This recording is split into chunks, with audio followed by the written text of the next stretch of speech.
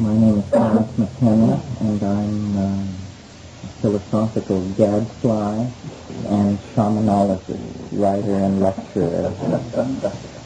um, Ruth assured me that you were so familiar with my work that probably we could handle this meeting as a dialogue after a short introduction to some of the things that I'm interested in.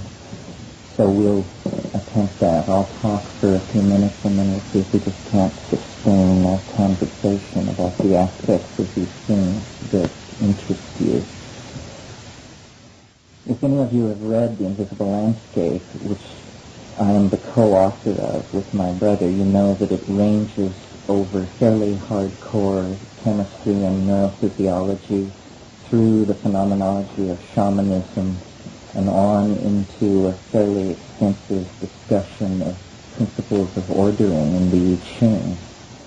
But what I seem to uh, find myself publicly lecturing about is the relationship of uh, hallucinogens, especially plant hallucinogens, to shamanic healing in the context where use of hallucinogens is associated with shamanism if you look at the worldwide distribution of hallucinogens, you immediately notice that there are several unexplained anomalies. Why is it that uh, fully 80% of the world's known plant hallucinogens are concentrated in the Amazon basin, even though the flora of the old world jungles of Indonesia uh, is equally rich. And Weston La Barre and a number of people have written about this, trying to say that perhaps it is because the people of the Amazon are closer to the hunting and gathering pre-agricultural mode than anywhere else in the world. But for whatever reason, the peoples of the Amazon have developed uh, the use of hallucinogens and curing and shamanism to a very high degree.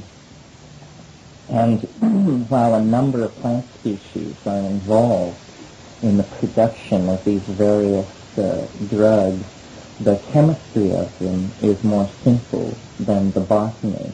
In other words, almost all of the hallucinogens in use in the Amazon uh, rely on a monoamine oxidase inhibition to potentiate dimethyltryptamine. Now, in other words, monoamine oxidase uh, is the enzyme system in the body which degrades monoamines, which would be serotonin, but also any uh, introduced monoamines, which would be all alkaloids and uh, many drugs. When the monoamine oxidase is inhibited chemically, it can no longer do its job of uh, deactivating uh, these compounds, and consequently you get an accumulation of them at the synapse. And this is uh, thought to be the mechanics by which the hallucinogenic uh, experience is induced with these drugs. Since so many people here seem interested in curing, I think this morning I will, uh, in these brief remarks, concentrate on one uh, ethnomedical system, and then if your questions range out beyond that, uh, that's fine. But I want to concentrate on this one ethnomedical system because part of what I am trying to do is to get researchers like yourselves to look more closely ask this. There are a number of unanswered questions. In fact, I would say more is not known than known. The system that I refer to is the endemic use of ayahuasca throughout Bolivia, Peru, southern Colombia, portions of uh, Ecuador, and Brazil. Very briefly, ayahuasca is uh, a combinatory drug made out of the boiled leaves and stems of a malpighiaceous woody climber called Banisteriopsis caapi, a huge woody vine that sometimes reaches 200 meters in length in the jungle. And uh, it is boiled to make a hot water infusion, and then to this is added a small amount of the DMT-containing leaves of some other plant, either Bansa, um, either uh, cabrerana or Psychotria viridis. Now, my brother has just finished his work toward the PhD at the University of British Columbia, and much of what his thesis consisted of was uh, looking at drug and plant samples that we collected in the Amazon in 1982 when we went down there. For over 10 years, Schultes and Bo Holmstedt of the Karolinska Institute had published theories of the activity of ayahuasca which stated that they believed it worked through monoamine oxidase inhibition, but this had never really been uh, tested. Now it has been looked at in the laboratory and essentially confirmed that this is precisely what's happening. And it's a very interesting comment on ethnomedicine because unlike peyote or Amanita muscaria or the psilocybin mushrooms of Mexico, ayahuasca is a combinatory drug. It is prepared. It is not simply picked and eaten. So as a consequence of this, it can be made either well or badly. And as a consequence of that, the personality of the shaman becomes far more important in the ayahuasca cult than uh, in the cults that revolve around the use of uh, plant drugs where no preparation is involved. Now, at the beginning of this, I mentioned that all the all the uh, hallucinogenic drugs of the Amazon are based on this tryptamine uh, beta-carboline uh, interaction. What we were doing in 1982 was looking at a much more endemic and restricted drug complex, which is um, for over 30 years there have been persistent reports in the ethnographic literature that there was an orally active DMT drug, which was very interesting to pharmacologists because there's large amounts of uh, monoamine oxidase in uh, the human gut assumed by evolutionary biologists to be there to degrade uh, potentially dangerous or toxic monoamines that might be taken in through the diet.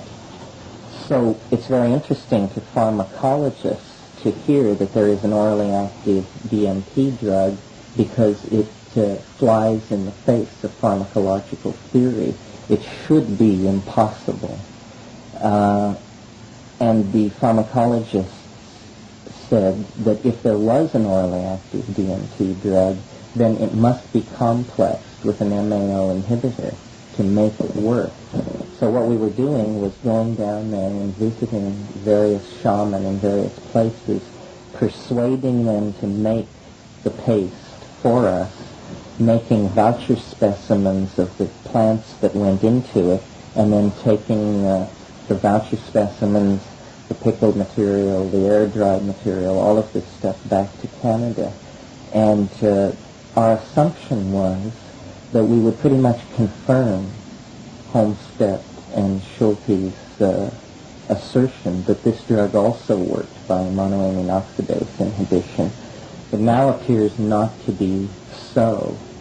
Uh, it also appears to be, uh, there are questions about the composition of the drug. The people who used this drug were disrupted in the 1930s. There was a uh, dispute between Colombia and Peru, and when the new boundary was drawn, these people felt they were in the wrong country. They felt Peruvian, but they ended up on the Colombian side of the line.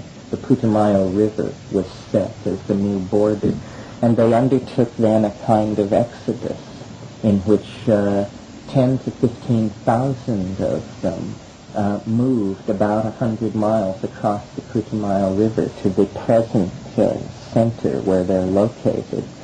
And in that process, we believe that the knowledge of the drug was severely compromised The reason for this is because samples of the drug that we collected north of the Putumayo River in 1971 actually did show the presence of beta-carbolines in them. But samples prepared below the Putumayo River had no trace of beta-carbolines in them, and in fact, in bioassay, seemed, uh, e- that means when we took it, uh, seemed uh, either inactive or toxic. And it's well known that the trees from which this uh, drug is prepared is also the source of an arrow poison. And in fact, among the Yanomamo, uh, if they are, if the men are on a hunting expedition and they run out of the supply of the drug, they are persistently reported to scrape the arrow poison off their quill arrows and to sniff that. so what exactly is going on is not uh, clear. I think we we took turns doing the bioassays uh, with the drugs in Peru, and I think my brother got uh, the most powerful and frightening sample and it sounded from his account like a paralytic poison. He felt numbing which began around the lips and proceeded down his throat. His breathing became very shallowed and labored. His mind was racing, but he couldn't move. There were no, there was no eidetic or hypnagogic imagery. There was simply a, uh, a massive sense of respiratory uh, depression. And when he recovered from this and questioned the shaman who had made the drug, his only comment was that it does take getting used to. but I'm not sure that we'll repeat the experiment. So I, I mention that because uh, here is an unsolved problem. We took the best suggestion of a generation of researchers ahead of us and went to the Amazon and ran their suggestion to ground, and it appears not to, their conjecture was incorrect. These Virola-paste drugs don't work through MAO inhibition. So here is the continuing unsolved pharmacological problem, which if any of you find yourselves doing field work in the Amazon, this is uh, one to bear in mind. The ayahuasca complex that I mentioned earlier is much more accessible and in fact is perhaps the most widely distributed psychedelic drug-taking uh, uh, complex in the world. It involves millions and millions of people who on a regular basis, approximately weekly, gather together, usually in windowless corrugated roof sheds, and the local ayahuasquero and in these areas, ayahuasquero and shaman mean the same thing. Uh, he leads the group in the taking of this drug, and uh, a number of people are come to these sessions because they have medical or psychological problems. Either is there is no distinction made. Many people come to these sessions out of curiosity. A certain percentage come with the attitude that they're going to take a psychedelic drug. In other words, that this is a visionary experience. And uh, this phenomenon of taking the drug is completely embedded in the people's lives and uh, very, very efficaciously so. They call it la purga. And in fact, harmine, the main monoamine oxidase inhibiting constituent of uh, of ayahuasca actually is a, uh, a strong anti-worm remedy. And this is important and definitely gives the people taking ayahuasca a, an adaptive leg up on everybody else because intestinal worms are an endemic problem in these areas. And I believe there's no question that if you're taking ayahuasca every couple of weeks, you're probably staying fairly free of this uh, the curing uh, scenario of the ayahuasquero is easily identified to the curing scenario of shamans worldwide. In other words, it consists of magical songs, the blowing of tobacco smoke over the body of the patient, the laying on of hands, the sucking on the afflicted part of the body to remove a, uh, a uh, magical object which may or may not be visible, uh, the interpreting of visions, and this sort of thing. The ayahuasca really functions as the hierophant for these groups of country people. And I might say a word about the context in which all this is happening. Though ayahuasca is used by deep forest Indians, and they have their own folk ways about it, uh, it's really a mass phenomenon of displaced Indian and um, mixed mestizo populations what you have in the Amazon are uh, n- relatively new cities, new if we mean by new, built within this century.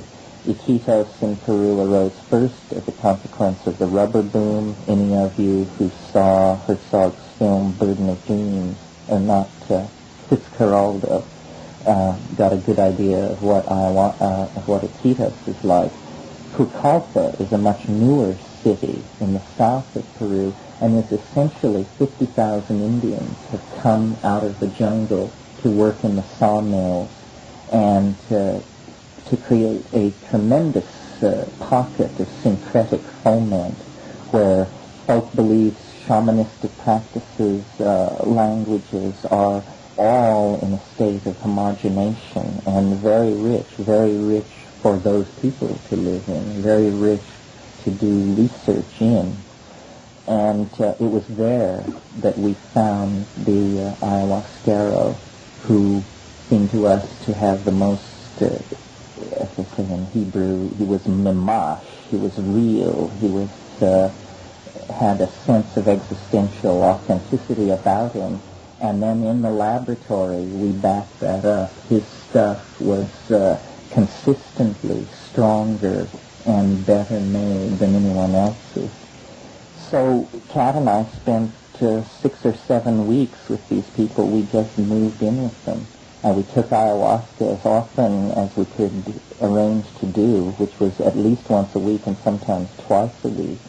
And I, we can attest to its curative powers because the peaks of ayahuasca taking were uh, interspersed with the trenches of salmonella infection. and um, each time we got salmonella, we would ask the shaman to move up the next ayahuasca taking day, and that would give us about three days grace before the next bout of salmonella. It was a terrific problem. If you know what it is, you know what I mean. If you don't, you're lucky. So uh, we can, I can answer questions about this from many different levels. I guess before I open it for discussion, since so many of you seem to be interested in curing, I should describe, and maybe Kat can help us with, our impression of what is going on in the curing. Uh, naturally, uh, well, you have to talk about psychedelic drugs. I think the word psychedelic is maybe too broad because it includes things which are very different from each other. It can include things as different as ketamine and mescaline. And uh, certainly uh, the tryptamine uh, intoxication, if we can use that word advisedly, is very distinct from the intoxication or, or uh, the immersion in the ph- phenomenology of LSD or mescaline something like that.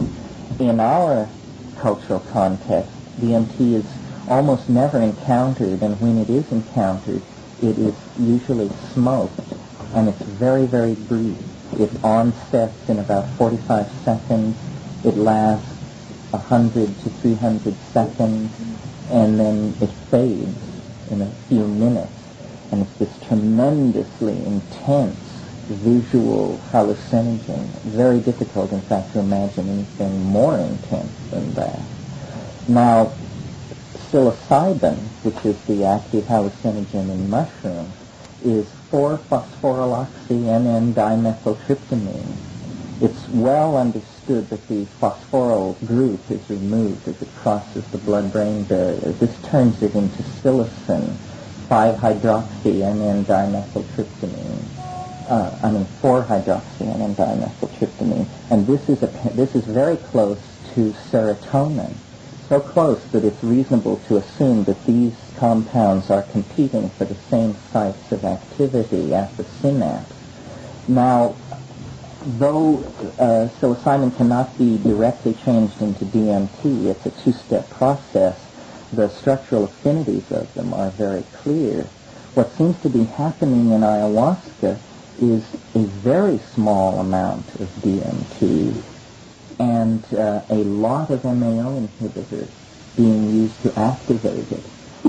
Uh, and I should talk about these MAO inhibitors in ayahuasca. They are harmine, harmaline, tetrahydroharman, the family of compounds known as beta-carbolines. Now, beta-carbolines are psychoactive in their own right, but not hallucinogenic. Some of you may know the work of Claudio Naranjo, who used harmine and harmaline in therapy. But if you study his work on the subject very carefully, it becomes clear that fully half of all the human descriptions of uh, the psychoactivity of beta-carbolines come from one subject.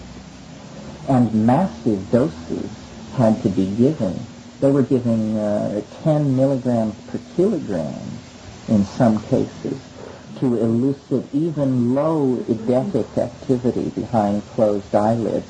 So to call it a hallucinogen is perhaps a misnomer. Uh, one of the things that my brother discovered that seems fascinating to me is that in in vitro systems, meaning in test tubes, uh, ayahuasca brews that we brought from the Amazon were found to be a million times stronger for MAO inhibition than they needed to be. When he diluted these things to one millionth the strength that the people were taking them in the Amazon, he was still getting 80% MAO inhibition. So what seems to be happening, if we can extrapolate from in vitro to in vivo, is that they are way overdoing the amount of MAO inhibitor you need and just barely sidling up to enough uh, tryptamine to potentiate the, uh, the hallucinogenic activity. When you take ayahuasca, first after about 30 minutes, you feel a kind of calmative effect, which if you've taken a large amount of it, can actually become almost the beginnings of a light anesthesia. And then in darkness, under the influence of these icaros, these magical songs, the hypnagogia begins to weave itself. And it is not uh, sharp-edged, bright, geometric kinds of hallucinations. It's much more, as he says in his thesis, the colors of the forest floor, rich ochres, olive drabs, warm browns, dusky oranges, all very impressionistically put together and very much subject to audio control. The icaros, the magical songs, are actually uh, technical tools for controlling the fabric of the hallucination. And this is very interesting to me because as some of you may know who have heard me lecture before, I'm interested in the effect of these things on the language centers and the relationship of visual modalities to spoken modalities. And definitely this is what's happening in ayahuasca. The songs are being used to control the visions. Perhaps this is what's happening in uh, in peyote circles as well. I don't have great familiarity with that, but I do know that there's great stress on attaining these magical songs, which are not produced from the ego. They are spontaneous outbursts of uh, linguistic order that affect the visual cortex and control the fabric of the hallucinations. And the shaman can use this to, in his own language, to look into the body. He can see into the body, and I would say of ayahuasca, it's the most I don't want to say health oriented, but it's definitely somatically oriented. You you feel how you feel on it, and you see into yourself, and you can actually direct energy in a visual way that is uh, way more intense than mere metaphor. And if a person such as myself can do this, you can imagine someone who's given their life to manipulating these states, how intense it must be. And they see into the body and they direct sound into the body, and by this means energy blockages can be broken up, diseases diagnosed, psychological conditions addressed, all kinds of things uh, go on. And uh, our attitude in looking at this was not the uh, attitude of representatives of a superior culture studying the quaint folkways of preliterate peoples. It seems very clear that this healthcare delivery system is very effective, perhaps more effective than our own, especially in the treating of psychological disorders, of which there are a number in Peru that only these populations are uh, subject to. I am not an anthropologist or a sociologist and not particularly interested in phenomenological descriptions of these things. I really believe that there is a, uh, a uh, potential impact on our own society from all of this. That if we could understand what was happening, we would have a much uh, better chance of being able to orient our own healthcare delivery system to be more effective. Uh, a friend of ours, an anthropologist who lives in Finland, who, Louis Luna, who showed his film in, in Vancouver last year, he is completely convinced that the real mastery of ayahuasca lay in following a very rigorous diet, which uh, the deep forest ayahuasqueros use. And this may be true. I mean, definitely uh, beta-carbolines are endogenously produced in human metabolism. So are beta-carbolines. The, uh, I mean, so are tryptamines. And the peculiar diet in the Amazon anyway, which is high starch, uh, uh low protein, high sugar, very few green vegetables kind of diet, may predispose uh, these people to accessing ayahuasca more easily. Kat had no trouble getting off uh, when we were being dosed down there. I had more trouble, and I think it was simply a matter of uh, the ratio of the compound to body weight. I was definitely the largest person in any of these sessions, and uh, the same amount is doled out to each person, and you're not in a context where you can say, I'd like to take more, please. you just have to go with what's going on. But we also, our informant prepared several bottles of ayahuasca for us. And in a series of experiments in the United States, when we got back, we verified that it is not only a hallucinogen, but it can be a terrifyingly intense hallucinogen uh, if, uh, if uh, errors in dosage are made it can be, uh, well, I said after I made my error of dosage, I never hope to be more stoned than that. so uh, that's uh, what I offer to you as interesting, perhaps to you in your own field. I, you must be aware that I have other wrinkles, the extraterrestrial angle, the end of history angle, several different things, but all of these things were inspired by our belief that these Amazon peoples have a technology for exploring the modalities of the unconscious that is centuries ahead of us. I mean, we are at the very beginning of exploring the unconscious. The Freudian and Jungian models, which you can think of the Freudian model as embedded like a uh, black dot in the center of the Jungian bullseye. Each theory of the unconscious claims more and more territory as its own.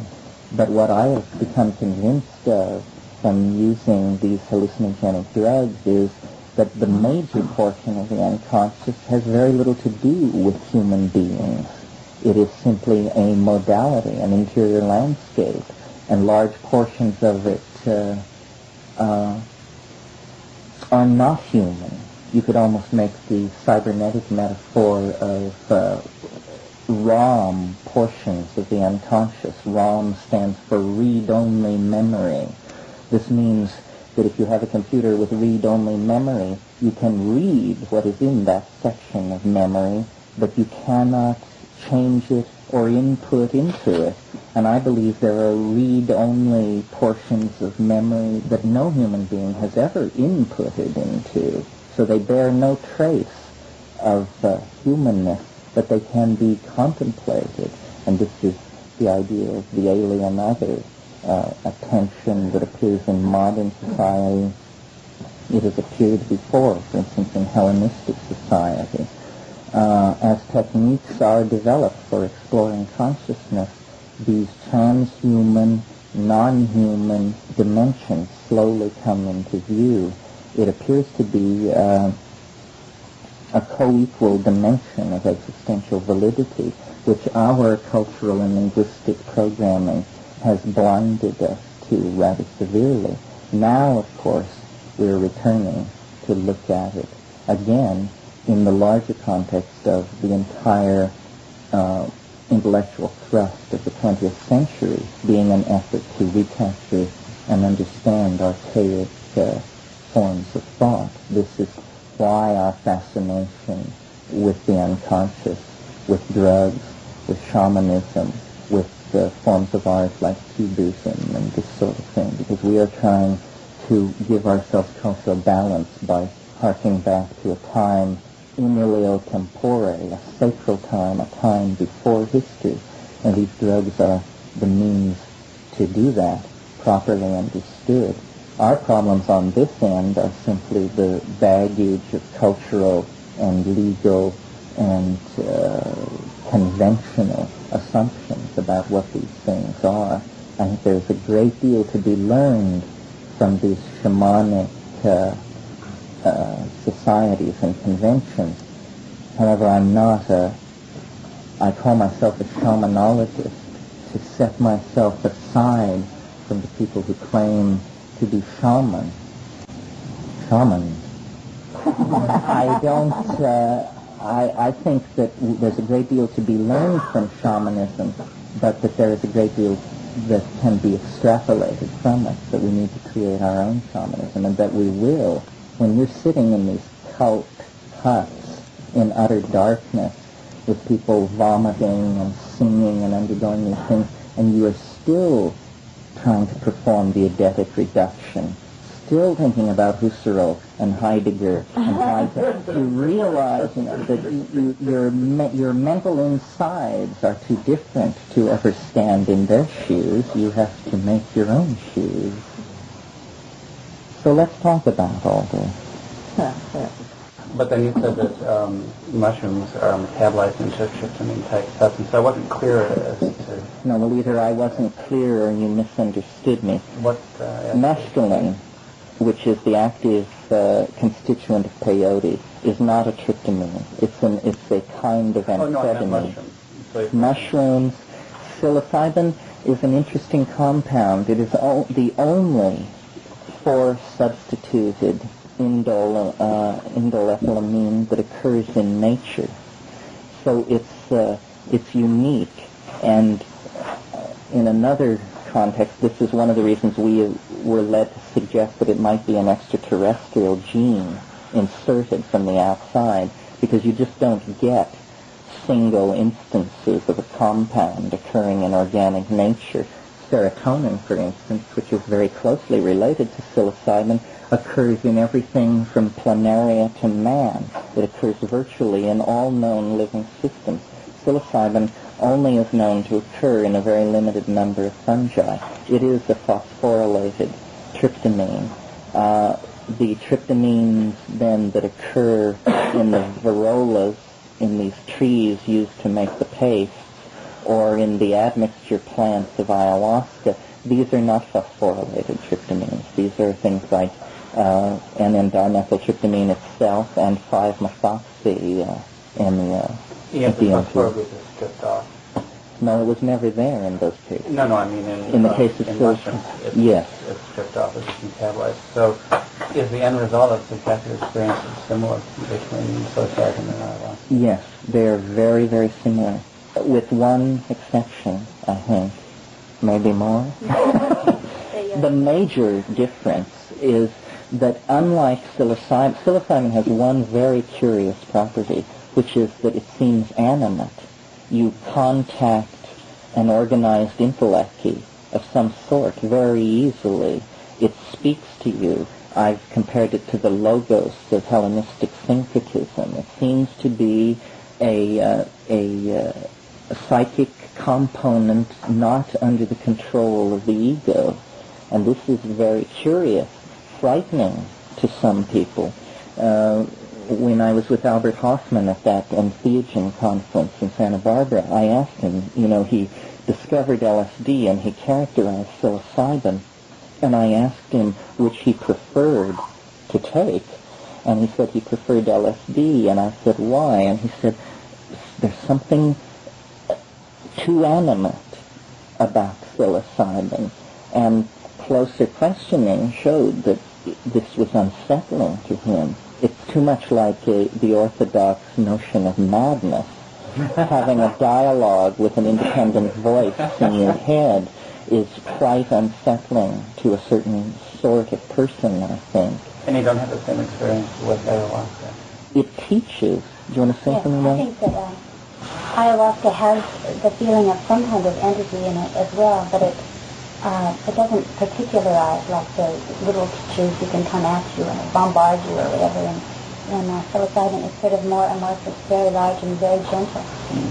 And so if my, I had experiences where I think Dennis did as well, where I was led through the forest by someone so much bigger than me that I couldn't see him or her, you know, but mm-hmm. taught about the plants along the way in the jungle, what they were. Or once I saw a huge hand dangling above my head that was all black with jewels in the crevices, you know, and that it's that kind of entity, you know, not frightening though.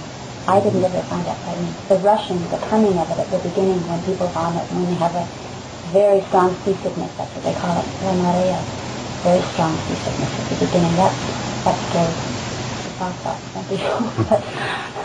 and you quake.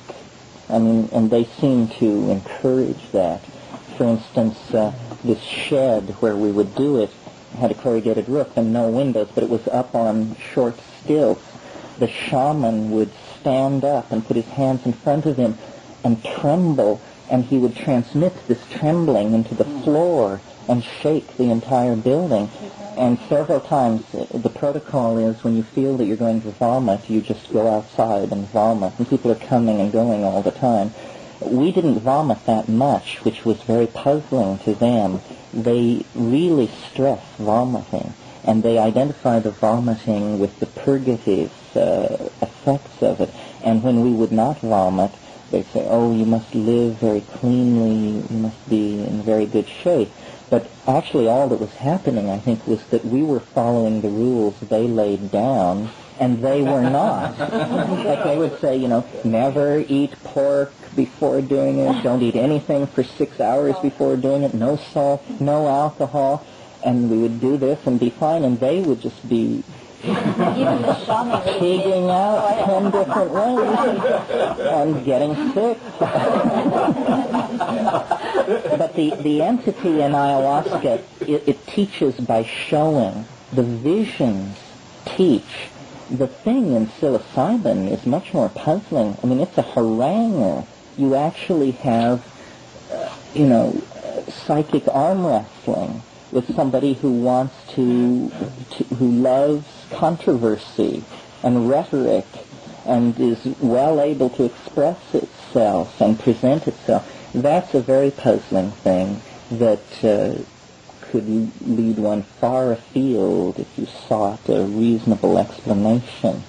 Um, so those are the major differences. I, I think ayahuasca lends itself to be a better healing drug mm-hmm. than psilocybin because it is gentler, because you can still communicate uh, with the other people. It's very close. It has this kind, this number of people in this smaller space, you know, and you can it can flow back and forth. Whereas psilocybin, if you've experienced it, you know, it just sort of blast off, right?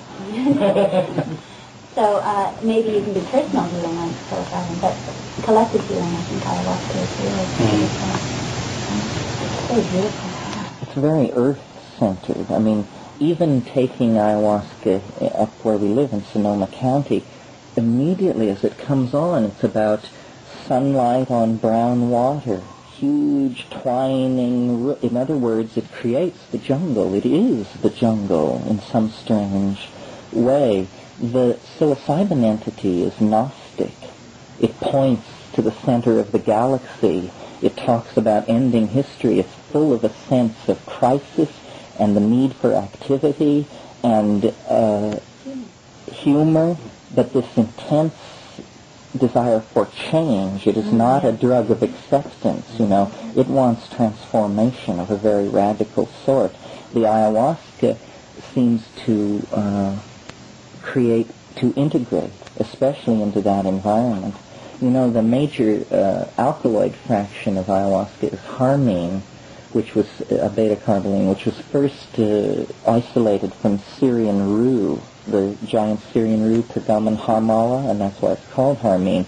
Before enough was known about the compound to realize, the compound in ayahuasca, to realize that it was the same as the compound in Peganum harmala, it was called telepathine because the early explorers, uh, and Koch Grünberg in the early years of this century, uh, reported that the people were inducing states of mass telepathy. And there is some reason to think that this might be true in some sense.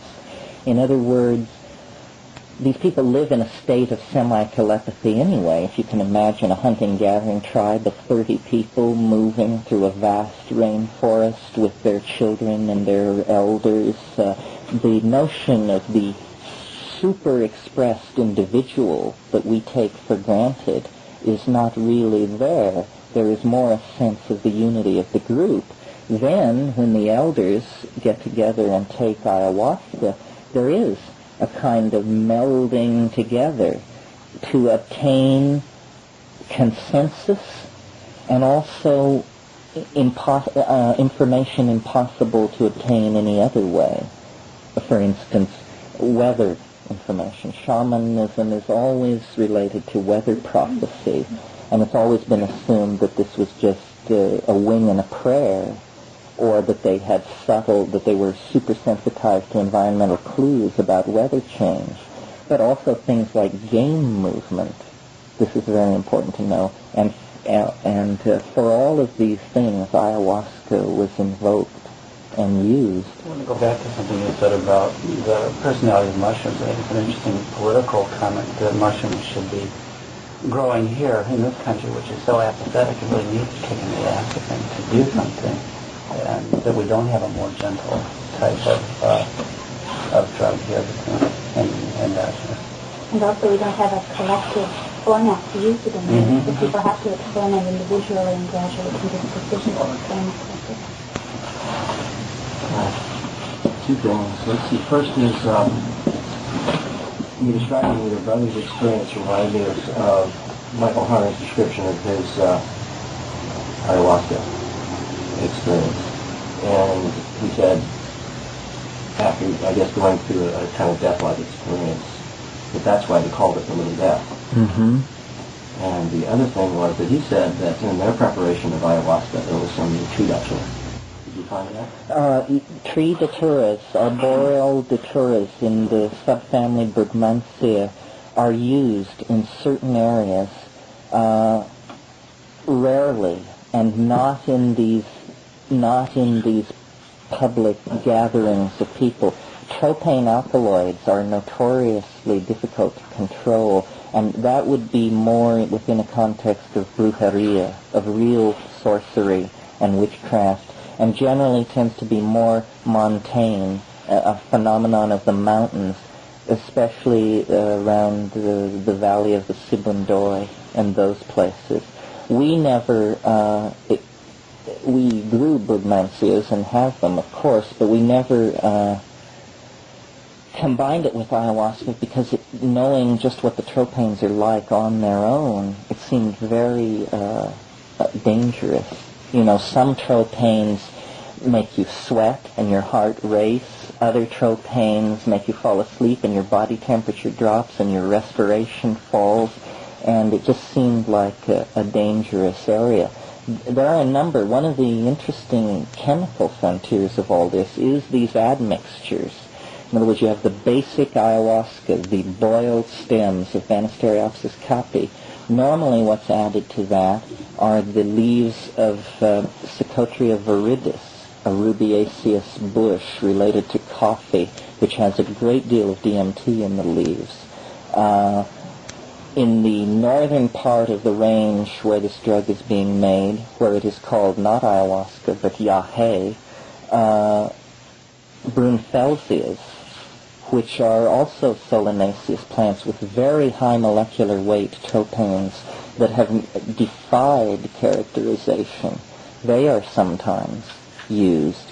But we knew Tim Plowman, and he's the only uh, non-Indian person ever to take Brunfelsia, and his description of it, it sounded like, you know, his life hung in the balance for 36 hours, and he didn't know whether he would make it or not.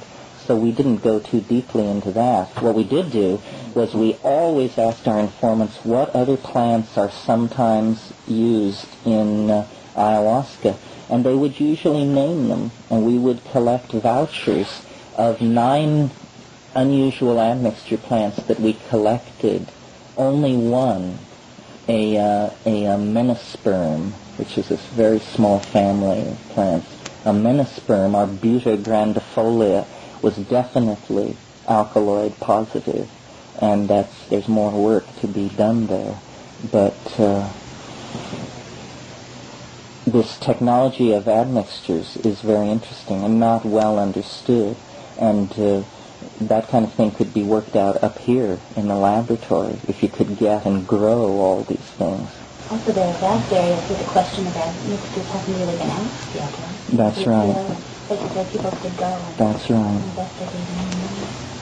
Well, Andy Weil was saying that he felt that the significance of the admixtures had to do with the synergistic effect of the uh, multiple alkaloids, and that uh, it made an incredible amount of difference to the uh, person who was uh, going through this thing.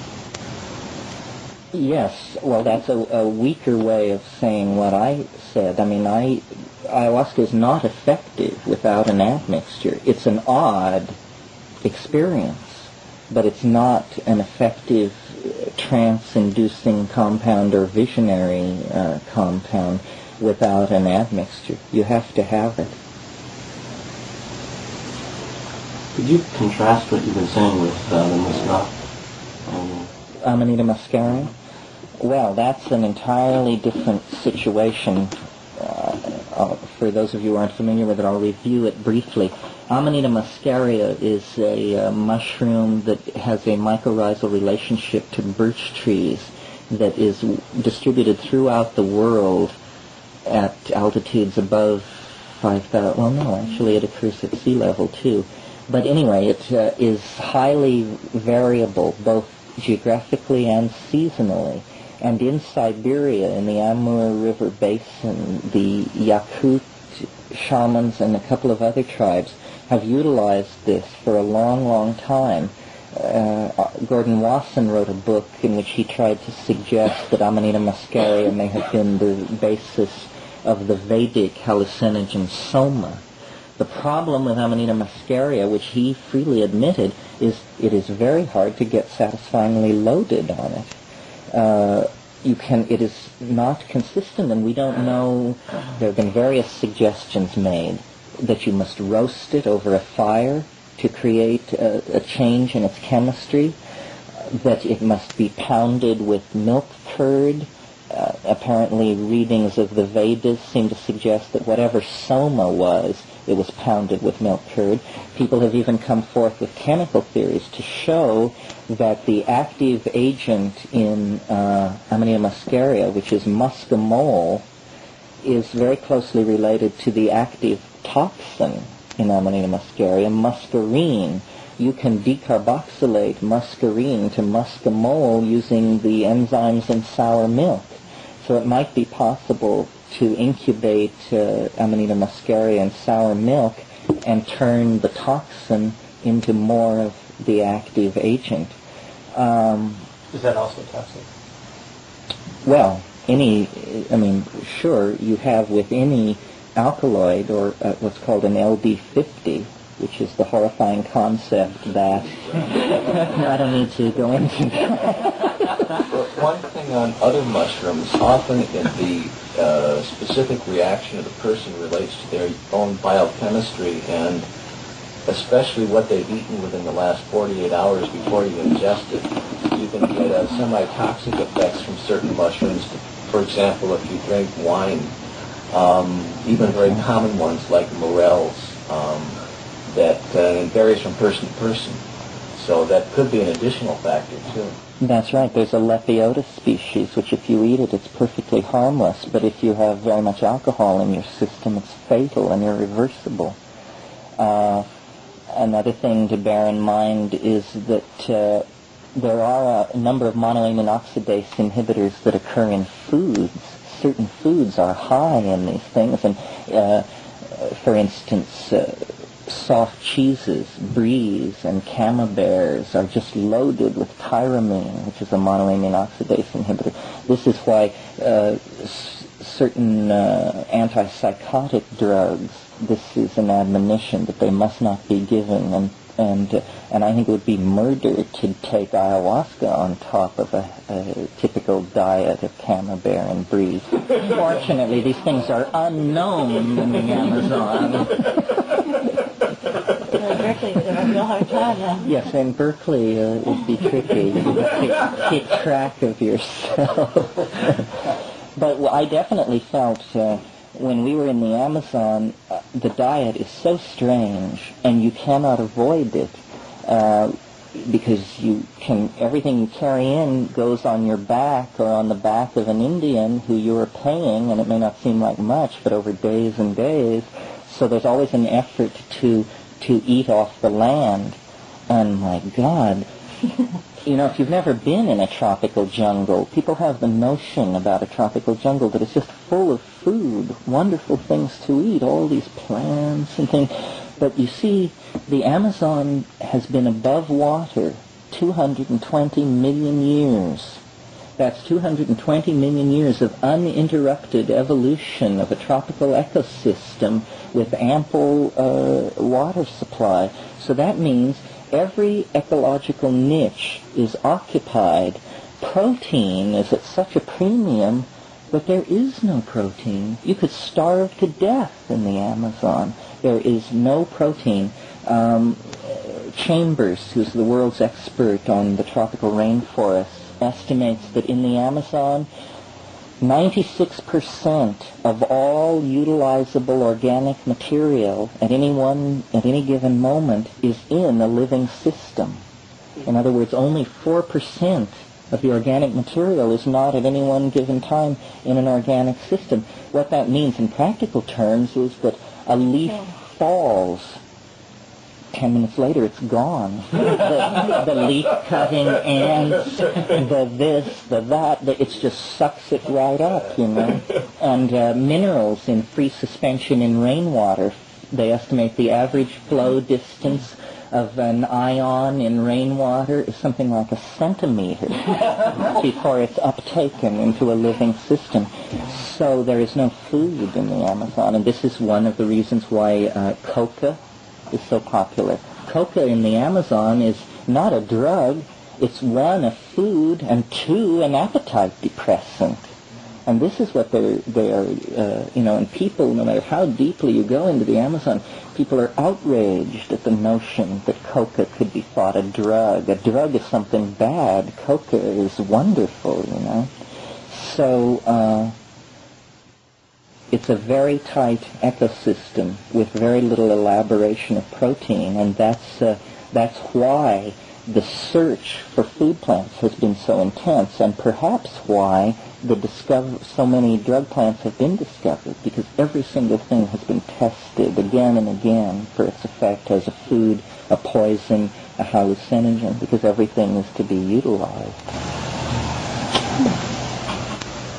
Mm-hmm. Well, you mentioned the use of the magic songs in the directing of, of the group experience in Alaska. Um, you mentioned that you're interested in the relationship between the visual experience and, and language studies. Do you think that it's the linguistics per se, or do you think it's sound? I mean, as in frequency versus linguistics in terms of semantics um, that, that has the, the guiding power? And you have a feeling for that distinction? Well, is it possible to, for a human being to make sounds which do not reflect syntactical deep structure of language? I mean, in other words, we're so hardwired for language that in any extended ver- uh, vocalizing, a Chomskyite would be able to come and find the linguistic structure of it. I'm not sure. I think uh, this is a really interesting question because you have input through the senses. You have one one one sense perceptor which is geared to transduce uh, audio input, and one which is set to transduce visual input. But it's probably something about the way these perceptual systems have evolved that they divide the incoming input. Actually, all that's happening is that you're moving through a multi-leveled wave system of various kinds of inputs, which you are transducing into tactility, vision, and sound. Uh, I think this is a very interesting area for research. Just recently, someone sent me an article which I thought was very, very suggestive.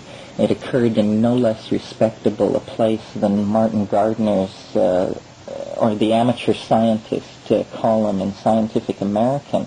But they were pointing out in there that if you can sustain a 100 hertz hum with your voice, you can actually make an electric fan appear to slow down and stop. You can also cause roll lines to appear on a TV set. Now, what exactly is happening here? It isn't that the fan slows down or that the roll lines appear on the TV. The, the scientific explanation which they put forth was that a well-sustained 100 hertz hum actually vibrates your eyeballs so that they become like strobes and you can freeze motion and you can uh, uh, slow things down and start them up again. So other people aren't able to perceive. No, other people don't perceive it, but you perceive it. And it tells there were anecdotes about airplane mechanics who can look at a spinning propeller and tell if it's flawed by jerking their head back and forth very quickly. And uh, this is very interesting because here is a way to use your voice to control your visual input and to actually gain secret information. If we had written a secret word on that propeller, Uh-huh. you could win bets in a bar by. Uh... so um, I think this needs to be looked into. What can we learn about the world by subjecting our bodies to different kinds of self-generated vibrations? And you know, without the backup of someone like Martin Gardner, I'm sure people would dismiss a rap like that as pure fancy utterly preposterous. The guy who wrote the article said it was very hard for him. He didn't have perfect pitch. It was very hard for him to maintain this 100 hertz hum. So what he did was he got a wave generator which uh, would perfectly generate the hum, and then he uh, modified a, uh football helmet so that he could strap it to his stereo speaker. so he would rest his chin on his speaker, uh, run this thing up to 100 hertz, and then uh, pop the motion of the fan. Well, this is just an example of uh, peripheral human abilities that we have not uh, explored. I'm sure you all on LSD have experienced the time smearing effect of motion where you move your hand and it just leaves it hanging there in all of its stages. And people will say, well, your retinas are simply not quenching the previous image. There's some problem in the uh, something or other. But the effect is to is to smear the psyche in time because we the psyche is defined largely by uh, the way the sensory inputs are uh, interpreted. So I think uh, these linguistic phenomena are very uh, suggestive of special abilities. I, I've said many times, you've probably all heard me say it, Philo Judaeus, who was an exact contemporary of Christ, born before, died after, uh, was on a bug about what he called the more perfect logos. And he said the more perfect logos will be beheld rather than heard, but it will go from being heard to being seen without ever crossing over a quantized point of division. Now that suggests that hearing and seeing are just two ends of a continuum and that your eyes slot you into part of that spectrum, your ears slot you into another, but that it's really a continuing spectrum. And this, the evolution of this more perfect logos is my, uh, my hope for psilocybin, that this can become an experience for people, a kind of Ursprach. You may be aware of um, Robert Graves' book, The White Goddess, where he talks about a perfect poetic language that predates history, a, a language of poetry so intense that to hear it was to understand it. It required no conventionalizing of cultural context and dictionary. It was so laden with existential validity that to hear it was to understand it. We have very few articulations like that left. Perhaps moans, screams, and howls are the only words. The Icaros. Um, The Icaros. And they're in varied uh, Peruvian Indian dialect, and yet when you're taking ayahuasca and they're taking it and seeing them, you can understand them, even though you've never heard the language before. Did you get validation from that, from the other people later? Yes, all of us who couldn't understand the language all felt very deeply that we were having images which jived with each other that we that we were getting. And did they then jive with the images that the uh, people... That's harder. It's hard for them to talk about that. Those people, because they are magical times. They don't analyze them in non-magical time. You know. Hmm. Did you get any cross-validation? Yes, yes, we did. Uh, we had um, back to you talking about uh, telepathic uh, aspect. Did have telepathic moments that had to do with the song and it had to do with the vision. But where we all recognized at one point, we and the environment outside all recognized the encroaching presence of death, some kind of death element. It was just outside the building. A baby cried, a dog howled, the clouds went over the moon, and everybody got a big chill. You know? I did. and the and the shaman jumped up and like commanded all of us in a way to go with him, and then began hooting it away. You know, and it took some minutes. And then it was gone, and all in one moment, everyone just laid back and sigh of relief. That was a very telepathic moment that was not conducted in any language common to everyone there. You know? What was your experience when you took it after having salmonella? And what experience that will connect to having had salmonella? Um, you mean just what did it feel like when you'd have salmonella and then take ayahuasca? Yeah. I'm wondering if there were things that you experienced during the ayahuasca trance that were you definitely connected to having salmonella and Oh, resolving yes. the... Uh, Traveling through your organs, traveling through your bloodstream, being in your stomach and in your gut, recognizing, like on a tiny level, I mean, being a, a molecule traveling through, you know, seeing the little yellow enemies or whatever, all of those things happen, you know, um, the healing on that level you can do to yourself um, very well. And it, and it just felt like it just flushed it all out, like just the awareness, the deep awareness that we got in ayahuasca made all the bad invaders go away. And then they would be gone until we ate the food. of the- It's very much like what Pelletier is doing at UC in their uh, behavioral medicine clinic. Mm, But they're not using any drug-induced uh, trance, it's just meditation. yes, Mm-hmm. Yeah. Uh, I wonder if you'd comment on uh, the relationship of what you're talking about to psychedelic synesthesia. Let's say things like LSD. You mean by psychedelic synesthesia, you mean fusing of the sensorium under psychedelic drugs? The initiation of, of visual phenomena by sound. You mean, do I think that happens on LSD? What you're talking about in, in ayahuasca. Yes, pretty much, except that it's controllable, you know, and uh, and in fact, that's almost too um, too restrictive a term. It isn't that the sound controls the visions. It's that the sound is the vision. And if you want to change the vision, you must change the sound. And so you actually can take control. Ayahuasca is wonderfully suggestive and can be led in a way that these other things sometimes can't be.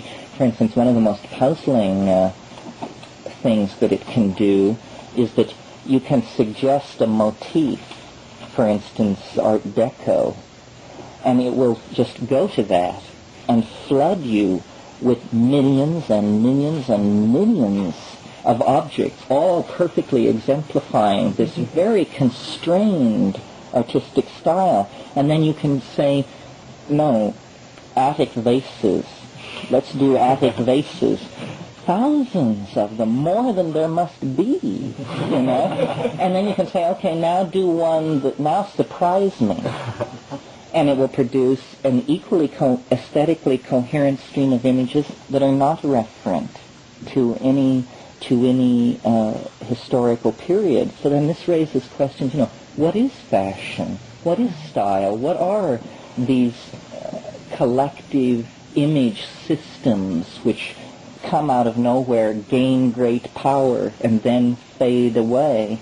And how is it that a drug can command them out of the single human mind? How it, what does it mean that on a psychedelic drug, one person can see more art in an hour than the species has produced in 10,000 years. what does that say about how effectively we are accessing our souls? It means, I mean, the, the potential then is so great. I mean, you prove it to yourself, you know? I mean, it's uh, very frustrating to imagine that that kind of beauty, those depths of ecstatic revelation are that accessible to the individual and so totally hidden from us as a group. How can the potential be tapped in our time? By, cha- by evolving language, by recognizing that reality is created by language and no longer accepting the natural evolution of language, but actually going to work to evolve language ever more rapidly so that we can uh, uh, communicate these modalities. I think that's a lot of what's happening here in these kind of, of meetings of trying to put together some of the express music experiences that doesn't totally violate them and, and rip them apart. It's a very long process creating a new language. You mentioned at one point uh, transcending the ego, what some of these people experience, uh, whether in a specific healing uh, event for each person or was it the collective event that happens when you get off or um, I, re- I ask this because I think it's very intimately connected with what was just mentioned here as to the evolution of language and the tapping of our potential has to do with uh, transcending. Transcending the ego and its expectations and its linguistic set, mainly. And its control over what we experience. Yes, language has not been examined enough, it seems to me. All the argument over man's place in nature and that sort of thing doesn't take cognizance of the fact that if you want to, if you want a miracle, then language is the thing to look at because we know that our uh, genetic component is only 3% or something removed from chimpanzees and this and that. But this thing that we do with sound and meaning is of an ontologically different order. And I am not sympathetic with the people who want to blur the distinctions and say that dolphins talk, ants talk, bees talk. They may communicate, but this is a very different thing, what man is able to do, because for 50,000 years or so, man has, uh, the species has not been evolving in the somatype. The somatype is relatively steady. What is evolving is culture. And what culture is, really, is language. Uh, culture is merely the uh, epiphenomenal accompaniment of language. So it is the evolution of language that is changing And uh, all our ontological, uh, all our religious ontologies uh, in the Western tradition, the insistence on the coming of the Word into the world, the Word becoming flesh. In a sense, man is the Word become flesh. And uh, what all this leads to, I'm not sure. I often like to think that our map of the world is so wrong that where we have centered physics, we should actually place literature as the uh, the central metaphor that we want to work out from, because I think uh, literature occupies the same relationship to life that life occupies to death. And I don't think very many people have thought of it in those Mind terms. elaborating please on that one? testimony of the word truth. Well, in the sense that uh, a book is a is life with one dimension pulled out of it, and uh, life is uh, is something which lacks a dimension which death will give it. I imagine death to be a kind of release into the imagination, in the sense that for uh, characters in a book, what we experience is an unimaginable dimension of freedom. And, and this is why people like James Joyce, though arcane and difficult to pierce, seem to me central to understanding this, because they're saying something about the relationship of books, reality, and death. That this is a cycle of expansion and understanding that is happening through language. At one time there were no books. And uh, I think what you're saying is extremely perceptive. At the same time, I think there's a meta problem with it, which is that if you take a metaphor of literature, what you've done is you, you do the same thing that we're doing all the time, which is trying to abstract one element that is the central metaphor. It seems to me the central problem we're in is that it's very difficult for us to give equal emphasis to all possible metaphors, all possible a physical metaphor, a biological metaphor, psychological, liter- literary metaphor. And the, the problem is we focus too much on one thing. Mm-hmm. We're unable to express, or well, not unable, but having great difficulty in expressing its totality. Well, see, what you want is a theory of being true to experience. And what we have by centering physics is a theory of being true to itself, meaning physics doesn't contradict itself. They're, they go to great pains to make sure that doesn't happen. On the other hand, the models that it offers bear no relationship to anything anybody can see, experience, know, or understand. So somehow an explanatory vehicle was chosen which explains something, but nothing with any immediacy. And that's, Well, what I'm saying is, is to draw in the things, but not to say push out the uh, the quantum physics model, but to integrate all of them so that you've got a, more comprehensive view and not trying to select one over the other.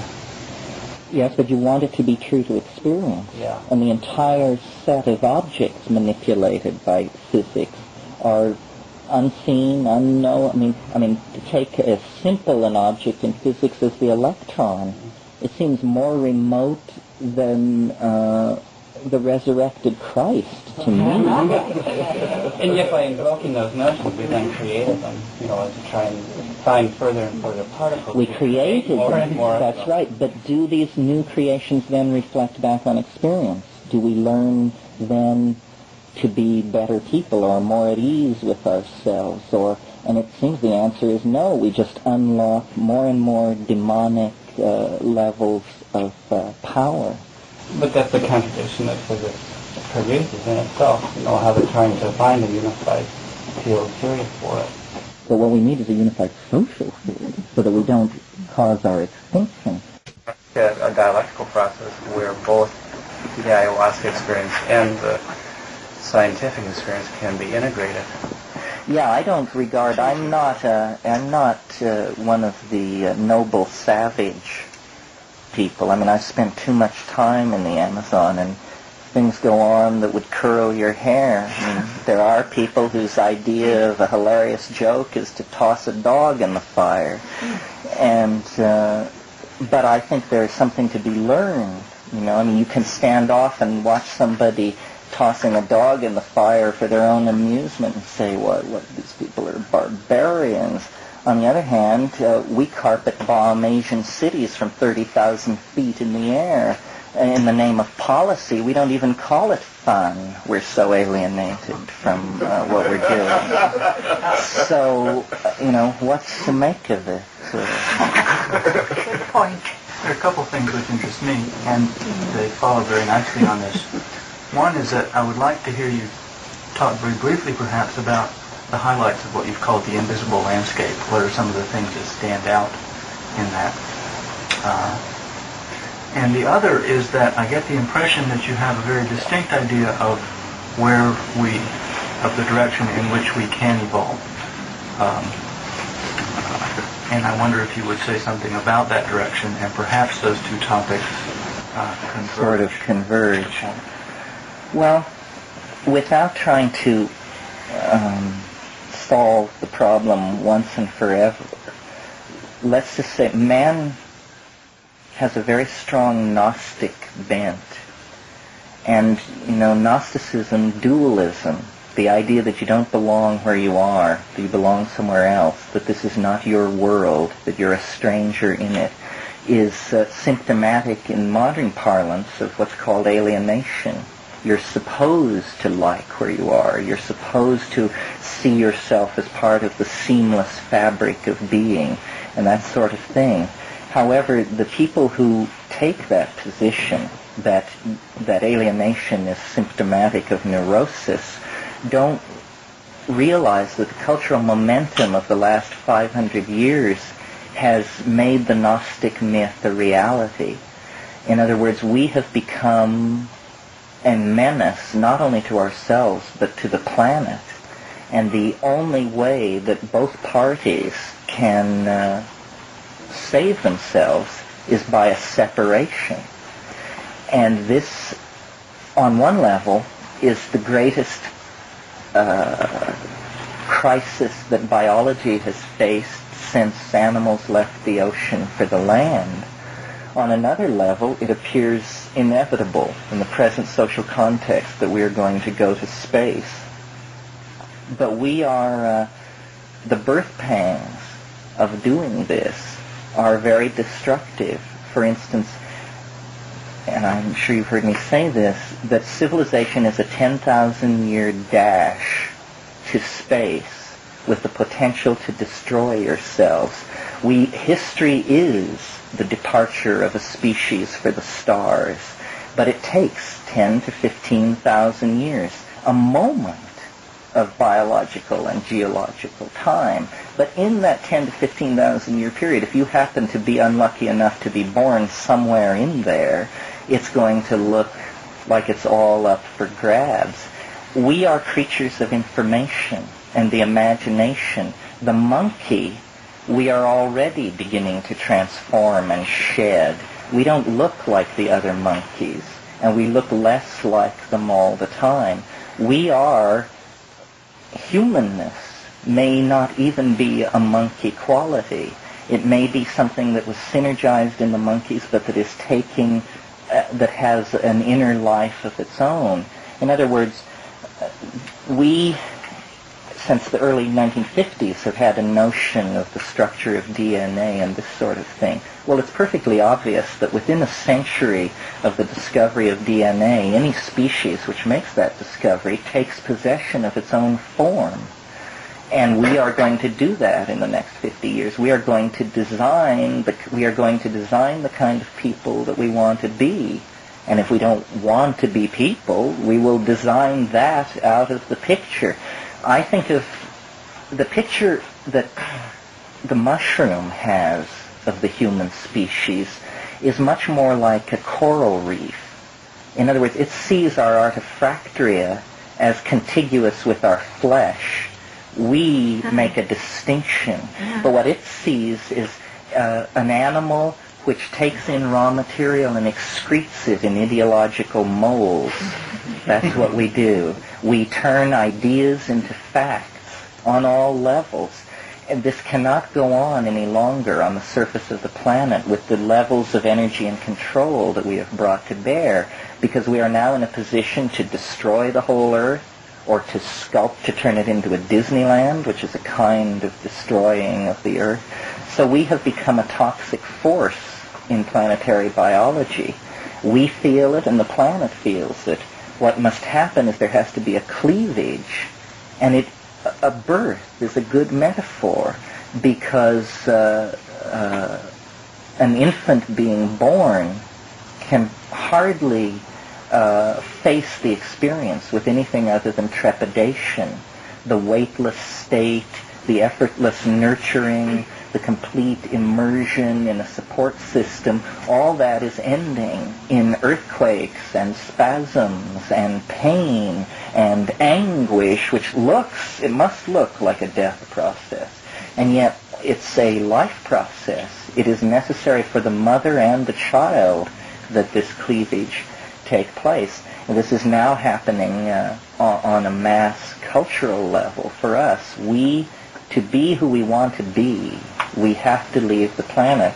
It, as Joyce says in Finnegans Wake, up in the ent, prospector, you sprout all your worth and woof your wings. Then couldn't you say that uh, all of the higher forms are in all of the lower forms simultaneously? Uh, yes, what's the word for that? Uh, uh, implicate. They are implicate in the lower forms. That's right. But uh, I don't know. It's a it's a great uh, it's a great challenge to us to fulfill the things that we can imagine we are capable of. Our imagination is really the sail of the soul.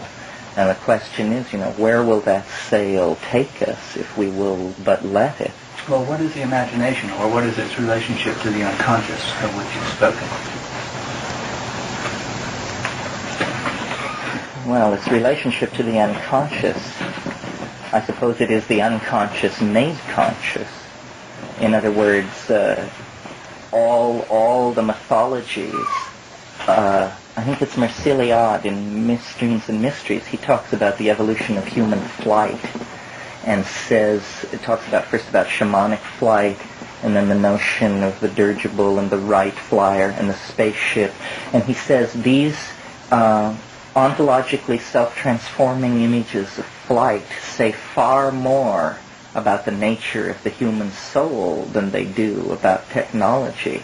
This is again this idea of James Joyce's that man would become dirigible. Uh, I haven't mentioned the flying saucer here this morning, but this is one of the things that I think is very interesting. I think flying saucers have been the province of very dubious intellectual cadres for probably long enough, and that it really should be looked at as a totality symbol which haunts human history in the same way that Alfred North Whitehead thought that the color dove gray haunted human history. In other words, it's a it's a thing always present. It is the symbol of the ontological transformation of the human species, and it always takes upon itself the um, the accoutrements of the current cultural myth, so that it can be seen as the intercession of the Immaculate Conception, or the um, descent of an angel, or the the current myth is that there are probably advanced civilizations somewhere in the universe, and so that this is what it is. It's really nothing so trivial you know, it is the alchemical object. It is uh, the blind spot in the uh, in the consciousness of the race, and it has to be the blind spot because it is a mystery. All appetition for the future is an appetition for this uh, modality of super freedom that comes from transcending the limitations of dimension. That's why we have. That's why our we are so riddled with apocalyptic mythology, because we really do have a prescience about what is going to happen to us. We really do sense at a very deep level that the linear extrapolation of our historical and cultural tendencies does not give a true picture of the future, that the major factor which will shape the future is uncertainty, and that we have never yet created a method for integrating that uncertainty and planning planning for it. Novelty is the thing that continually overturns all efforts to uh, project toward a given end state. So is it correct to say then that our evolution will be, or, or can be seen as a reclaiming more of the landscape of the unconscious? Yes, absolutely. That's what it is. That is our world. Our world is in our minds. You know, the kingdom of God is within you. That's the rap. But the point is then, you know, to get a lease nailed down somewhere in the world of the imagination so that you can be part of it. Yes, the planet is simply a, a precursor of what we will project outward when we have the ability to do so, and this is coming soon. How um, can we, um, uh, how would you propose to accelerate the evolution of language? I think that we have to make a very reasoned case to the establishment that the um, that the psychedelic drugs have to be looked at in a non-hysterical manner by experts, and we don't know who the experts are. They may not be pharmacologists. They may turn out to be linguists, or they may turn out to be jugglers. But we have to recognize that what we're talking about when we're talking about the advancement of human evolution is the evolution of the human mind. Uh, and these drugs, and do it, you know, before the argument was whether it should be called a hallucinogen or a psychedelic or an entheogen, or, they were just called consciousness expanding drugs. And that really, as a phenomenological description, is more useful than these other things. They expand consciousness. Well, therefore, we should be really bearing down on them because the problem is we don't have enough consciousness and we don't know how to direct it and sculpt it and orient it toward our own salvation. So we can't just take our mental states as given, as somehow sacrosanct, and therefore not to be tampered with. We have to actually begin to engineer them. And Arthur Koestler has made this point. This is not big news, but uh, there's some resistance to it. Again, I think a a, a recursion of dualism in a more dangerous form. The dualism of the natural and the unnatural. Yoga is natural, drugs are unnatural. All these dichotomies. I mean, who can argue with the notion that dualism is the root of all evil? Uh, How could it be otherwise? uh, a question relating to this is that there's something, we have all this choice, we have all this power, and yet we are also prone to a great many powerful mistakes. And there's the element of that which happens spontaneously through us. And this is part of that dichotomy too. Where do we leave off engineering and, and let let um, that which is beyond us do it through us? You mean the thing which is leading? Yeah. Well, we need to open a more coherent dialogue with the thing which is leading. Again, the re- the reason I don't, I'm somewhat immune to political anxiety and that sort of thing is because I really do believe there is a control system that is larger than any human institution. I don't believe that the evolution of fate on this planet is in the hands of the Communist Party, the Catholic Church, the Jews, Wall Street. It isn't in, no one is in charge. What is in charge is the most intelligent life form on the planet, which happens to be transhuman, not human. We have had for some time now the concept of uh, the collective unconscious, but we need now to think in terms of the collective consciousness of the race, which is not passive it's not just the storage place of old memories and myths and that kind of thing. It is more like an intellect key. It guides. It opens avenues to certain choices and precludes avenues to other choices. You know, I think it was in Mysterium Conjunctionis that Jung said uh, the unconscious has a thousand ways of terminating a life that has become meaningless. A chilling notion. And what he meant was, you know, you'll step off a curb and be hit by a bus because you didn't look. But the real analysis is that a decision had been made at a higher control level to just fling you away. Well, how much more disturbing it is to think that that could be possible on a global mm-hmm. level. So we have to open a dialogue and no longer, you know, all these words, intuition, artistic vision, trance, uh, means like poetry. These are all ways of trying to have a dialogue with the control mechanism.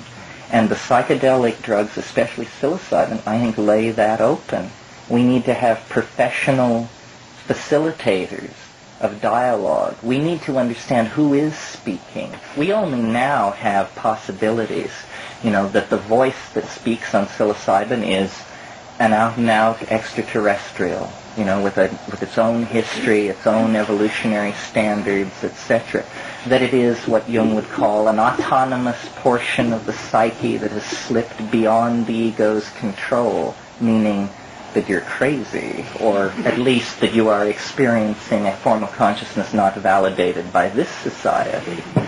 Um, I, I want to stick something in there. Yeah. I I agree with your analysis, but I don't share the same faith that we will inevitably make it as a species because what I see happening in the collective conscious unconsciousness or that unconscious becoming conscious is a, a struggle over whether to live or to die.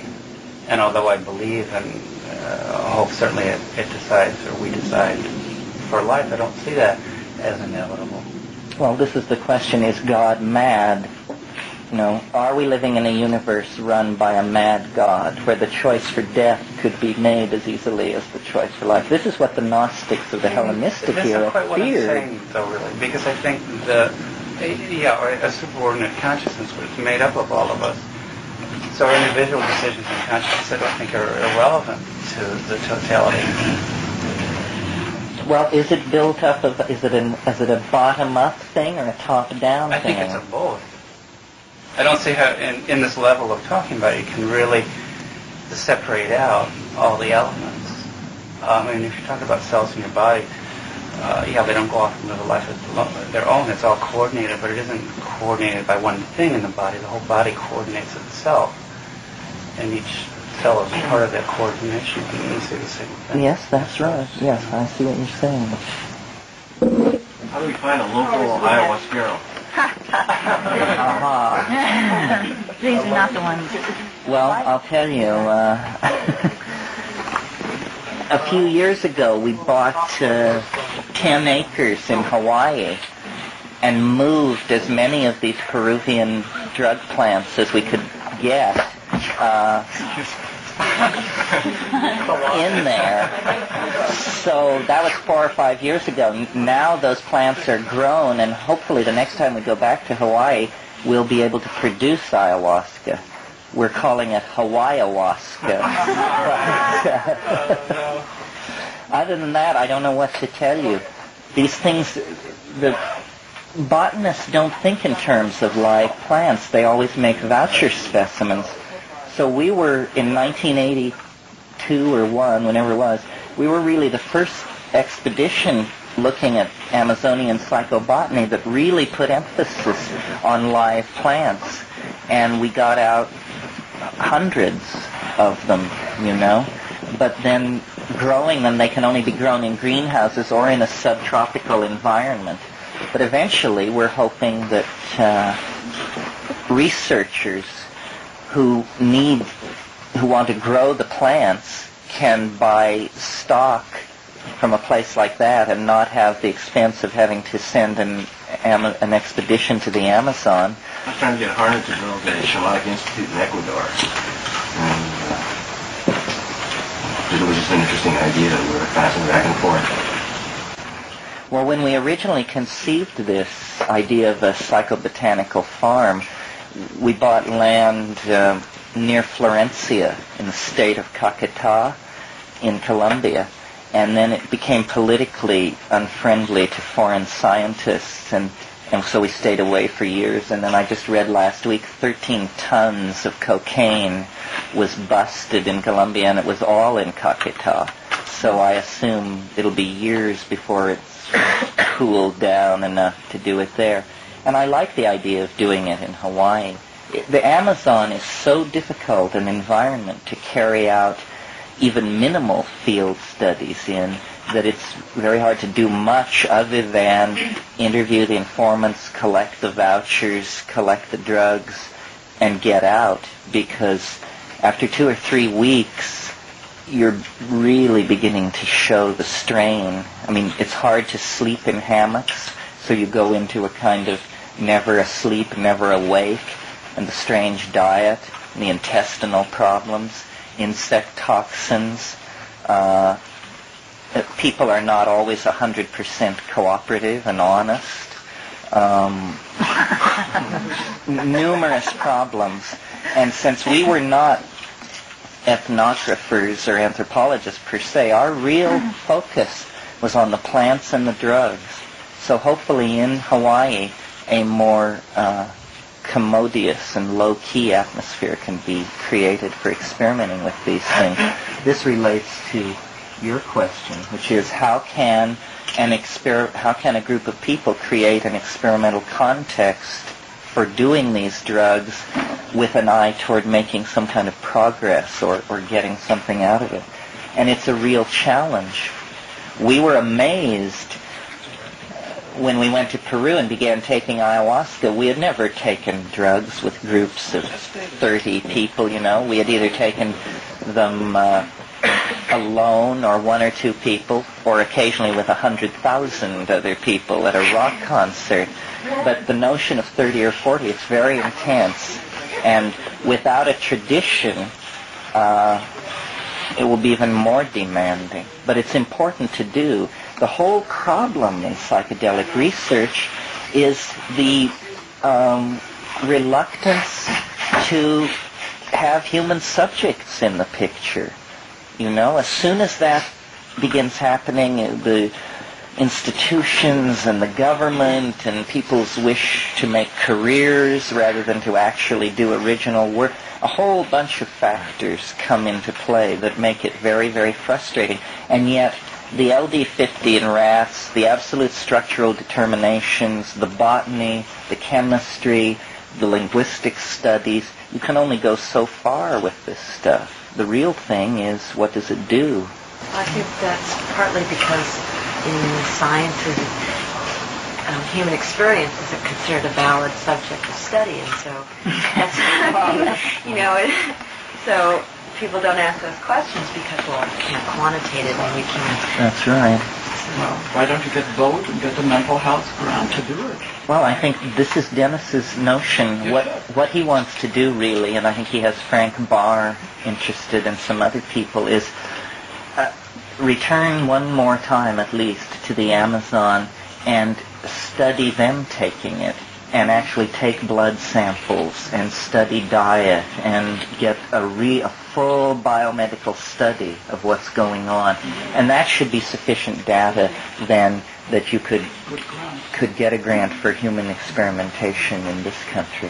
All this remains to be done. The, the, the work is just beginning to be done on psychedelics. Essentially, the botany is now well in hand. There are only botanical details now. But the chemistry, the pharmacology, the neurophysiology, the psychology, these are just wide open areas. I'd like to take the opportunity to thank you for uh, doing what you're doing. I, I can't remember since sitting like this in India being so enlivened by what's going on today. Oh, thank you very much. I would like to hear from some of you who have been so silent. People who have are either appalled that we're this deep into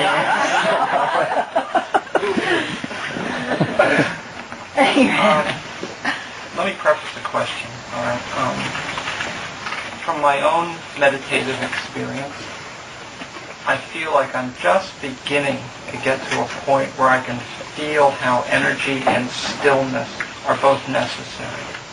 And in like the existential phenomenological sense, they co-constitute one another. It cannot be one without the other. And by energy, I mean all its forms too, including mind, as you, uh, for me, was good to hear another way of saying that mind, the idea of mindfulness or chitta in the yoga philosophy, that is a reality to someone else too, Mhm. is, is comforting. Um, including the intellectual stuff, all that form. In your experience with these cultures, these different cultures, is there a, I hear a lot about the energy side, the form, etc. Is there any stillness work? Is there any, uh, is stillness sacred? Is there, is there a meditative, quote-unquote, tradition or Formed on in this prayer. culture? Oh yeah, for Educate me, sure. I'd I'd Yes, like to uh, it doesn't call itself that. It calls itself trance. But trance is is not a state of unconsciousness. It's in fact a state of full alertness, but you can't move. And you don't experience this as paralysis because you don't care to move. But yes, I think that you that there must be stillness for these things to manifest. One of the most puzzling things about psychedelic drugs is trying to teach people how to invoke the modality. People have the attitude toward drugs that uh, if you take them, they will work. And this is not true at all, especially with drugs where a modality like mind is what you're attempting to conjure. So that, you know, a, a drug will potentiate you for a vision state, but a number of other things have to be present. Energy and stillness being, I think, the two most important ones. And then a third factor, which is uh, the invocation. You must invoke it in some way. And it's hard to explain what that is. It's sort of like, you know, the, it, the difference between being alone and with someone. You, though you are alone taking the drug, you have to assume the I-thou tension. And then you will discover the thou on the other end of the equation. Yes. And so the stilling will allow this. And Um, it, it's almost call me out um, on three? I have a meeting here. sensory deprivation is what's required. Not in the formal sense of a tank or anything like that. But you must sit still in darkness. And you must look at your closed eyelids with the expectation of seeing something. And then you will. Within the culture, a, a spoken discipline about mental stillness and the importance of that, or talking about the, the drugs or plants in terms that that would be a positive thing, or I'm just curious. I think that the, the that? context is isolation. That's what they would say about this. They say, well, we go into isolation. We put ourselves away. We put ourselves into a tree or a, cut, a cult hut or something like that and do not move around a lot. I think it cannot be compared. It's a completely different culture and uh, uh, typically work with this uh, Well, this question, though, of the role of hallucinogens in in Taoist practice is not uh, not well understood. If you know James Ware's book, the number, the attention given to fungi is out of all proportion. I mean, their pharmacopoeia was largely fungal. Uh, the, there are no known psilocybin mushrooms from China reported. However, this is a place for somebody to make a quick reputation, I bet. Uh, if you chose carefully where you went to look, I'll bet you would find it because we know Stropharia cubensis is in Thailand, Laos, and there is no reason at all that it shouldn't be in southern China. And it was in southern China that the Taoist pharmacopoeia was evolved and elaborated. The art. Is working on it he wrote a couple of papers. I have a copy. Strickmann. Strickmann, I Yes. Oh, yes. Yes, he's doing very interesting work in all of this. He's in Germany. I think that uh, hallucinogens are basic to humanness and always have been. You know, Carl Ruck and Wasson wrote a very convincing book to show that the Eleusinian mysteries were an ergot, a cult of ergot intoxication.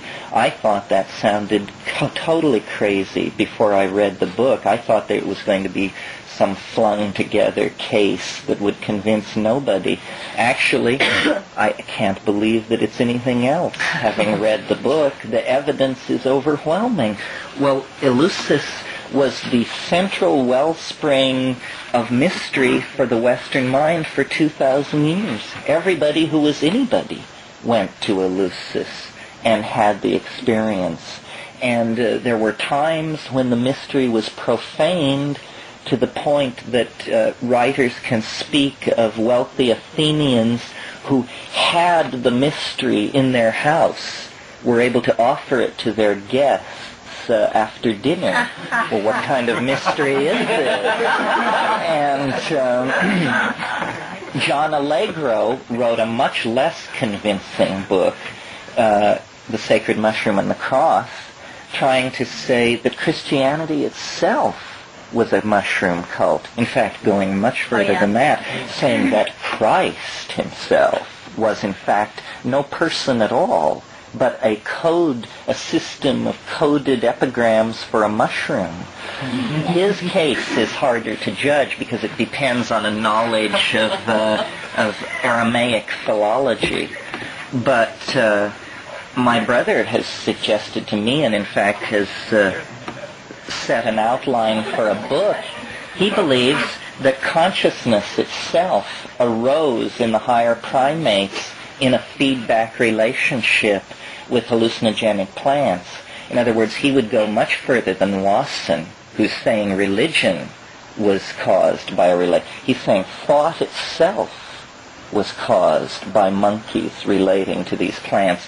And we know from laboratory experiments that if you set uh, monkeys in a situation where they can uh, smoke DMT by just walking up to a, a pipette and taking a hit, that 20% of the monkeys will refuse food and water in preference to that.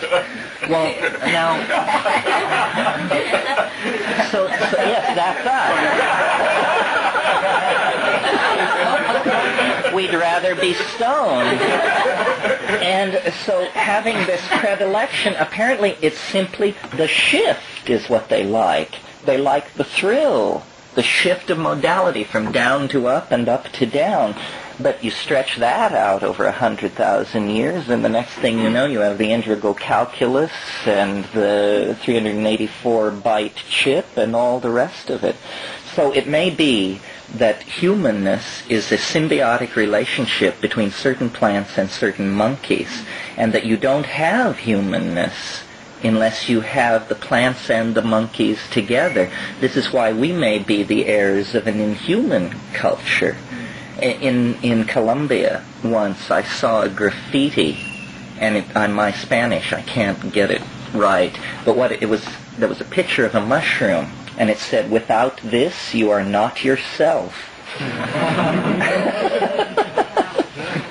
so this is a, you know Arthur Koestler. I think it was in The Ghost in the Machine, said very clearly that he felt there was no hope for the human species without chemical intervention that we cannot be the sharp-fanged monkey and the possessor of atomic weapons, and that we're going to have to chemically intervene to mute the monkey, uh, the monkey proclivities. And uh, it may be true, but the the depth of their influence upon us, our thought systems, language. I hold the the peculiar opinion that language preceded meaning by millennia. That long before people could communicate, they discovered how interesting the small mouth noises were and made them for each other as a form of entertainment, which then bifurcated into chanting and singing. But it was very late in this experimenting with small mouth noises that someone got the idea that you could assign a meaning to a certain mouth noise, and everybody would agree that that's what that noise meant, and then you could discuss things. So, you know, we are creatures of language and thought, and uh, probably because these drugs, these plants, first kicked that over in us. I'd like to go back to the drugs and consciousness idea. I'm just stop right there for a minute. Um, Arrested development of it. are you? And there's several ways that a, a person could take that notion, really, and several different directions that you could go in with it. On the one hand, the, you could be suggesting that the experience itself of a hallucinatory state is such a um, uh, different experience from normal waking consciousness that it demands thought to come to terms with it. And I don't think that's a very tenable line because the dream state itself would have similar experiences, and we know that chimpanzees and lower primates are dreaming, so that doesn't seem to be too far. Um, the other way would be to say it's the actual communication with more developed intelligence that is inducing thought in our species, the way we're doing that now with chimpanzees and teaching them sign language, and they're starting to develop humor and things like Mhm, that mhm. if you want to go that way too, then you have to then get to how did that being itself develop consciousness and start to. It's an interesting line, but I don't think it, should, it would stop there. I'm Well, wondering where you wanted to. The way I go think of it is a, a third possibility, a kind of a geometric model, which is just to say, here you have a grid called experience of the world, and then we have waking, so that's a dot on the grid. Then we have dreaming, that's another dot on the grid.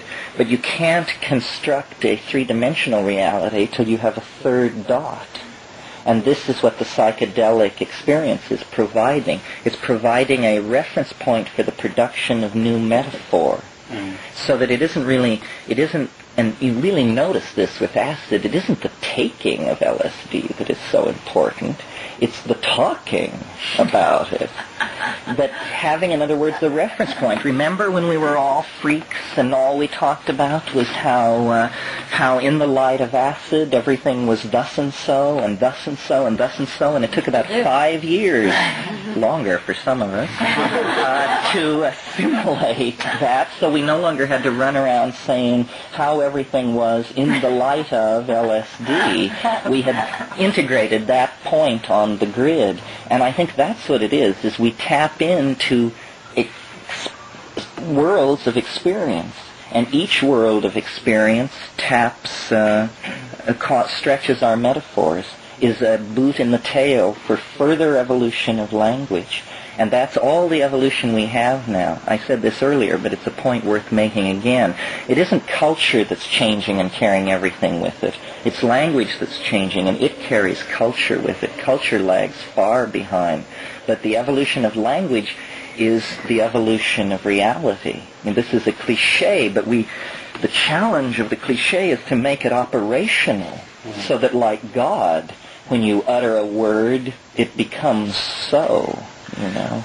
Um, do you see what, what do you reflect on in terms of the origins of the use of, of hallucinogens and that whole you know scheme, sort of the negative or the you know the literally the we, we're you talking a great deal about the sort of evolutionary potentials, and I'm curious about you know examples Negative of the, potentials. yeah, negative potentials, and how we deal with those and foresee them. Well, uh, the only answer I can give is uh, probably not a very good one. The forces of, uh, let me put it a different way. The government gets to everything first. And they have been at the problem you ask for 20 years with an amazing little success. I worked for the Department of Interior for a while. I can tell you why. Well, there are many reasons why, but it doesn't seem very pervertible. They were very excited at first, you know, uh, but then, and I think what they got into, although perhaps you can say more about this because you probably follow the literature, they like to give uh, psychedelic drugs to people and then hypnotize them and then get them to do terrible things which they wouldn't remember later. And claims were made that this was possible or being done, but it certainly didn't seem to come into wide application. They also looked at, during the Vietnam War, they want they built artillery shells which would deliver aerosol DMT. Uh, they envisioned uh, dropping one of these aerosol DMT bombs uh, on a Vietnamese town.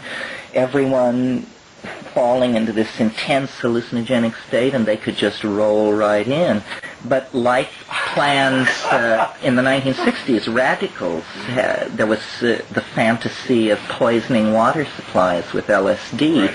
Well, it just turns out that there are chemical factors and buffering problems, and it just is not very easy to do these things. I suppose uh, maybe I'm too sanguine about it, and irrationally so, because when I asked this question of the mushroom entity, the perversion of this, I was told uh, that it was good in such a platonic sense that you could only approach it if you were good so that it was like ethical mercury. The grasping hand would find that it flowed right through it, and there was nothing left. But I may be God's fool, you know. That may be. I mean, certainly, we know the Nazis uh, used scopolamine as a truth serum.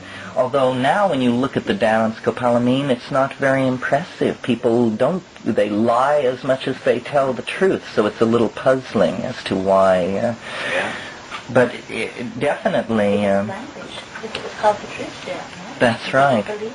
That's right. Also, it has something to do with what um, James calls the cognitive imperative, that things happen because we Because- believe these yeah. things happen. That's right. And, and uh, so a lot of the use of, of um, all these things may depend a great deal on what people believe will happen when you use it. And also, technology is the production, is the, uh, you could think of it as the residue of the workings of the imagination. And the imagination is not, is under the control of the, the superego or the overmind. So that I think technology has a weird way of always escaping the intentions of uh, those who are working with it. A perfect example would be the the chip which makes possible the personal computer. That thing was developed under contract to the Air Force by I think Sperry Rand and when it was finally finished it didn't work right. It was far too slow. They wanted it for guidance systems of missiles and this kind of thing. Said this thing is a thousand times too slow. It's just baloney. It's worthless. Toss it in the wastebasket. But somebody said, but wait a minute. You know what you could do with this? and created, you know, an information revolution that must be absolutely appalling to the forces that wish to control. I have an Apple II computer and a $350 modem, and uh, I can access the uh, Defense Department databases. I can access uh, all uh, the complete shelf list of the Library of Congress, all chemical abstracts, in short, all information in the world. I can access from my living room in Sonoma County, and so can anyone else who buys a thousand dollars worth of equipment. This was not part of the plan. this is in fact a terrifying uh, thing. And my God, these computer networks, where, as an example, a few years ago, someone invented a device. This is an anecdote, but it'll give you the idea. Someone invented a little device which looked like a ballpoint pen, and it was a small cybernetic device that could be programmed with a category, like let's say stamp collector or sadomasochist. and when you wore this pen, if you got near anyone else who was wearing a similar device programmed with the same word, your pen would begin flashing a little light. the notion was that these things could be sold to people who hang out in singles bars and would create a dimension neither public nor private, a new dimension where people of similar interests could get together completely. So isn't, isn't that interesting? And this thing had a range of 20 feet. Okay? So now comes the $1,000 worth of cybernetic equipment and the telephone, and it's the same device. It doesn't clip into your shirt pocket, but we've extended the range to include the entire planet. Or you can have a, a search program on it too. Oh, you do. You go into these. You go into these computer networks, and you say, you know, who listed who listed that they were interested in mushrooms, psychedelics, psilocybin, consciousness-altering drugs, hallucinogens, and then out of seventy thousand users on the network, in four and a half seconds, it tells you that twelve people listed one or some of those words. You immediately type a little letter to each one, shoot it off through the system, and you're in contact with those people. This makes conspiracy on, on a level almost impossible to conceive, a form of liberation. And uh, these kinds of hardwired technologies are simply patriarchal um, follow-ons to the feminizing of consciousness that is happening in drugs. In other words, the, you can almost think of uh, drugs as the software and cybernetics as the hardware of what is being done. But vast areas are being opened up for human interaction completely unregulated by any kind of institution. And these will create new kinds of social realities. And the computer have a psychedelic experience. It is a psychedelic. Uh, it, it's a hardwired psychedelic experience. You are people think uh, tend to think of computers as masculine, I guess, because uh, uh, the first generation of people who built them were male. But what they actually are are the mysterious mama matrix of information. It is like the unconscious made conscious the unconscious is ceasing to be unconscious. All information is rising into this dimension of accessibility so that you need not wonder how many people died of tuberculosis in western Nepal last year. You just key into the biomedical index and you find out.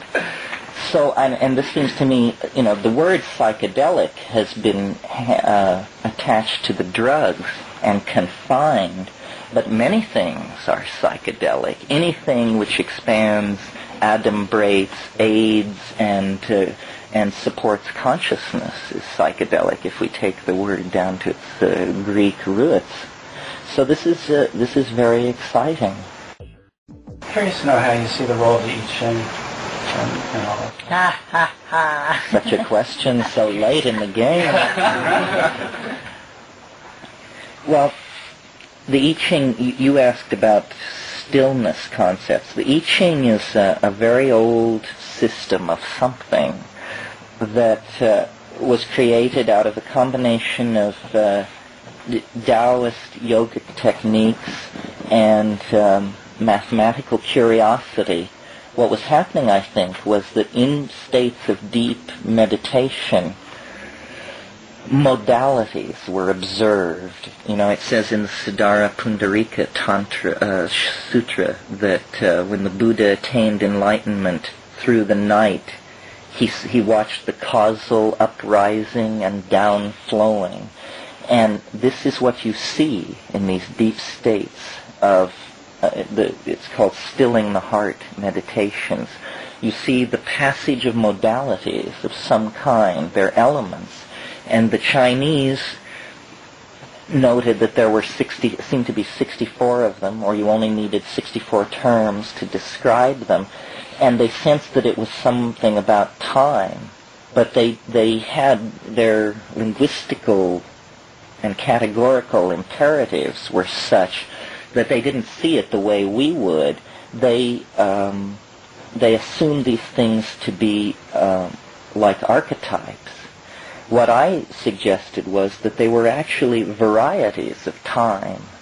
And actually there was a 16th century Chinese uh, philosopher who pulled this all together out of the ancient sources and said, you know, the hexagrams are descriptive of time. They're hierarchically structured at many levels, so that on one level, hexagrams are, are influencing a situation and passing away at a rate of many a second and on another level at a rate of many a minute, and on another level at a rate of many an hour, and on another rate at on another level at a rate of a few per century. And it is the um, the interpenetration of these m- modalities on various levels that finally issues into what we call the here and now situation. And um, it's too complicated to go into here, but there is a way of looking at the sequence and structuring it that allows you then to draw maps of novelty's ingression into time, to create a completely non-scientific theory of time that is nevertheless not occult, meaning has no hidden elements, and is completely mathematical and predictable and self-consistent. This was more my question in that you're talking about information structures being generated in new ways through computers and the effect of the I Ching in our culture as it enters our culture and restructuring our perception of time. And if there's a conflict, because of the, you know, the computer structure, the logically generated, internally consistent structure, and the I Ching is, uh, is a, an illogical but also internally consistent structure. Well, like DNA, these very large systems with very large numbers of elements can can have uh, irrational inputs and still have everything end up in the right place at the end. I mean, if you read Yeah. uh, Prigogine's work, where you discover that global rules govern situations which, when analyzed very locally, appear highly chaotic. And this is what the I Ching is saying. I mean, here we have a world which appears highly chaotic, but which, when analyzed at higher levels, uh, turns out to be uh, describable by uh, very rigorous methods. So the converse is true too, that what seems to be a very orderly um, structure in a computer network is on a higher level actually chaotic. That's right. This problem of order and constraint is a very difficult one. For instance, a sociologist can tell you that in the next 12 months, I don't know what the number would be, but let's say 30 people are going to jump off the Golden Gate Bridge. Well, now, does that, so then someone jumps off the Golden Gate Bridge, not because they're despondent, they've lost their job, they just don't want to live any longer. Are they free? How free are they if at the end of the year we look at the wreck and say, yes, it certainly is true, 30 people jumped off the bridge just like you said they would. So apparently there was almost no freedom in the total system. It came in right on the dot.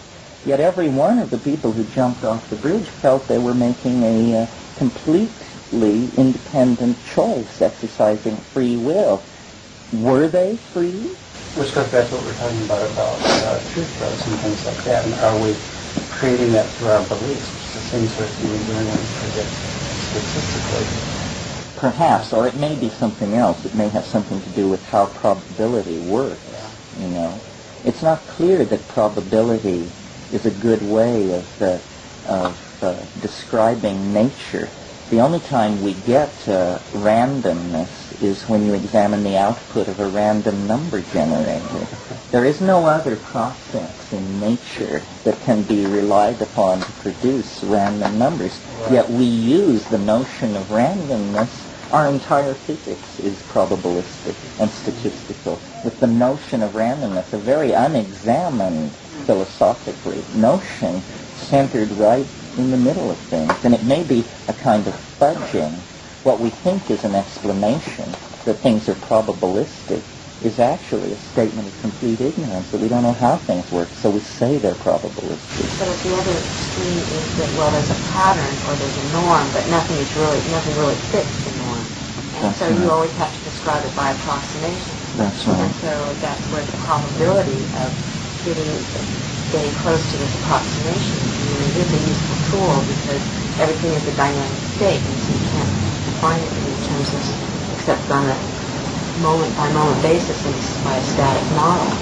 And so you need the probabilities to describe the transition from one approximation. But it's created all kinds of consequences that were not expected, like the notion of uh, the citizen and the way democracies and the way power is apportioned because we have these probabilistic and statistical notions about uh, human beings. Politically, we atomize ourselves. We say, you know, we live in the fiction that all citizens are equal, which is absolute poppycock. It's simply that how else can we have the kind of social system we have and have it function? So the tools, you have to beware of the tool, of what the tool does to you as well as, yes. McLuhan should be looked at more carefully. I think McLuhan was never mm-hmm. correctly centered vis-a-vis the psychedelic phenomena the way he should have been. People thought he was talking about the impact of television and print and this sort of thing. What he was really talking about is how cultural uh, uh, inputs to sensory modalities change self-definitions. Mm-hmm. And the drugs have done that to a great extent. And so as you change. I used it for seven years and I stopped because I found that it was I was starting to live two weeks, well, I was living for a long time, two weeks or two months in the future. And not being right here because I was sort of pre-structuring what was happening. Although this abolition of the future is a controversial thing, for instance, I try to produce maps of the future with the Ching on my computer, and people say that you want to destroy the future, you want to take the surprise out of being.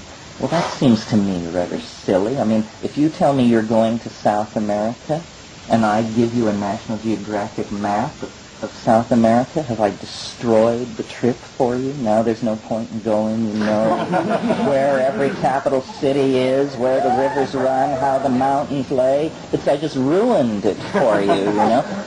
Um, I don't think so, because what we are interested in is the details. Maps don't uh, don't make it unnecessary to go to the places they portray.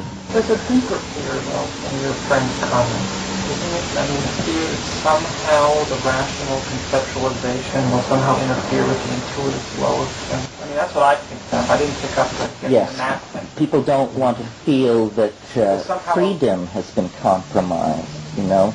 But I, my theory of time is not a predictive theory of events I've just quantified one, one quality, which I call novelty, and following Alfred North Whitehead, and talk about how history is the career of novelty ingressing into time.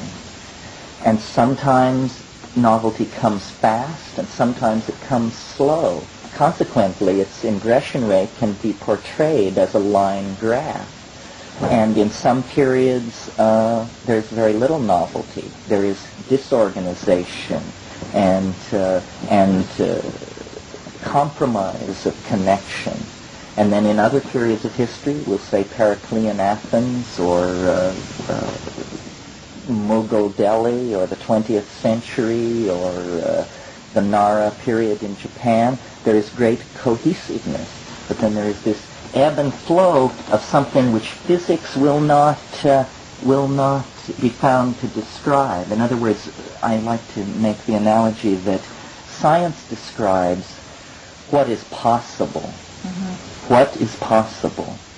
And what we need is a theory that tells us out of what is possible, what is it that will undergo the formality of actually occurring. We have no theory of what it, out of possible sets of things, why certain things will undergo the formality of occurring. And this is what we need. Why?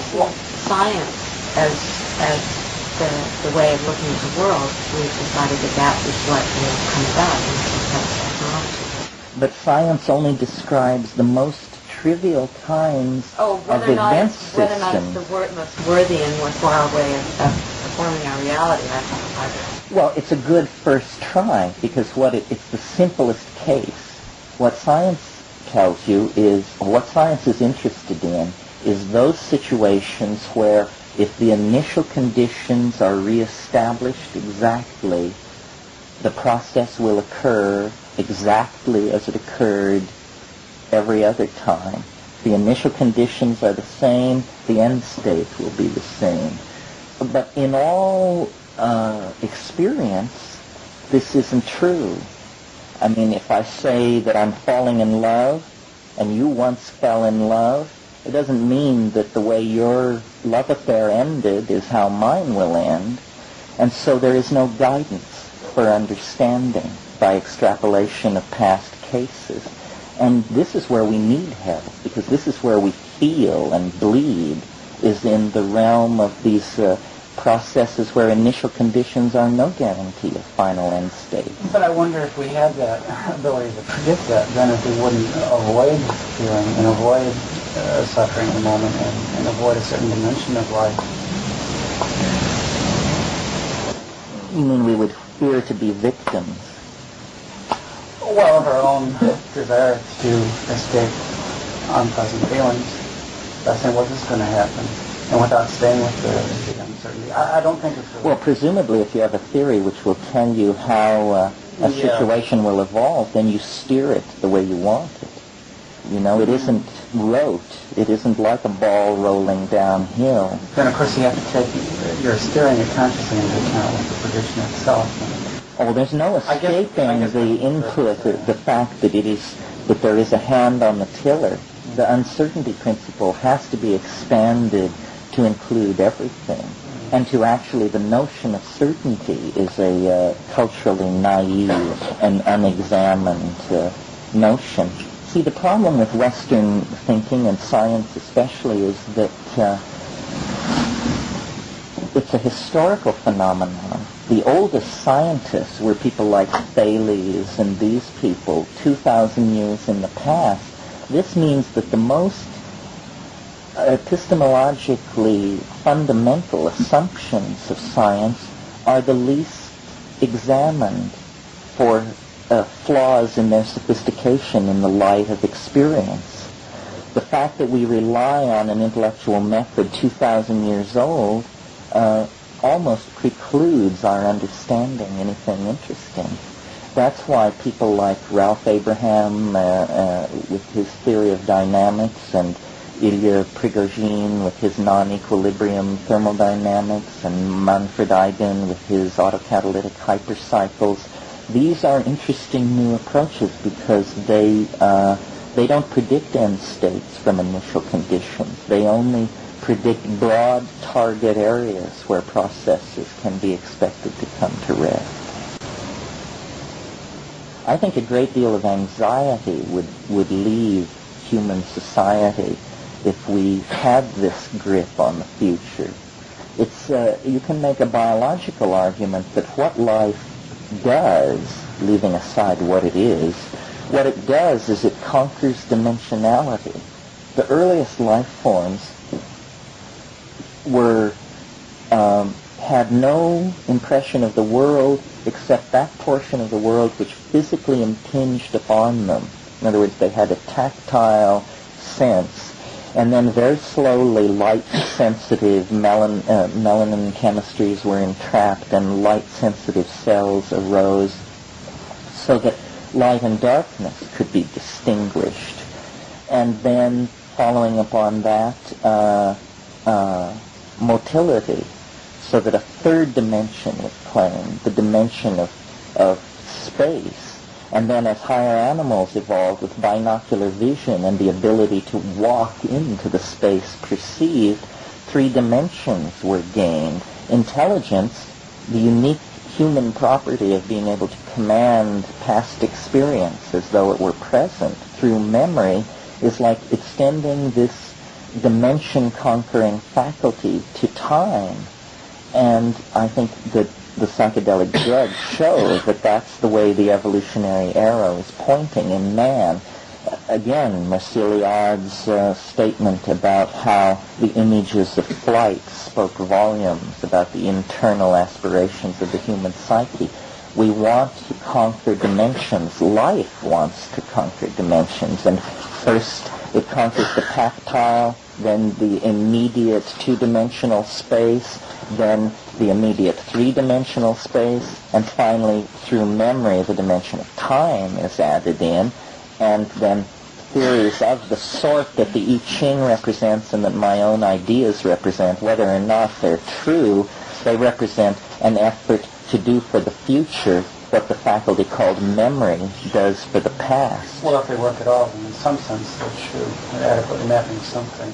And as you're talking, I'm realizing that what I was saying underneath it is that um, I have used uh, I in the uh, for a long time, and what I realize now I was dissatisfied with is that they are, to a certain extent, alien philosophic systems to me. And that as I stopped using them, um, what's happened is that I start to dream more and more what's going to be happening, you know, one step, two steps, whatever down the road.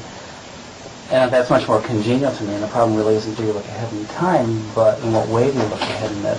Uh, if you do it through your own dreams, then you have a, a philosophy inherent in those systems, which is utterly congenial to your own way of being. Yes, well, sometimes you're trying to understand your own life, and sometimes you're trying to create a general theory of being. Mm. And these things will issue into different sorts of stances. Mm-hmm. Uh-huh. Would you uh, say that uh, intuition or the imaginal mind is to the future what memory is to the past? Essentially, yes. I mean, I believe that uh, eschatological objects, if you want to put it that way, cast shadows backwards over the landscape of history, and that we are we are drawn towards these things. They are what C.H. Waddington called chreodes. They are narrow, canalized pathways of development that it would take an enormous amount of energy to lift you out of that channel and drop you somewhere else. It isn't impossible, but it's highly, uh, highly improbable.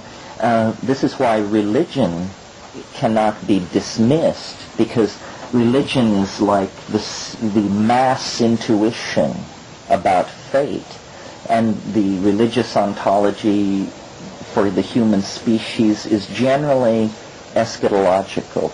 Not always, not in Buddhism um, or, well, there are exceptions, but it generally is eschatological in that we are seen to be in the grip of a backward flowing casuistry, that there is something pulling us forward, the telos, so unwelcome in science. Science insists on operating without teleology. And, and so its explanatory power is uh, in proportion to that.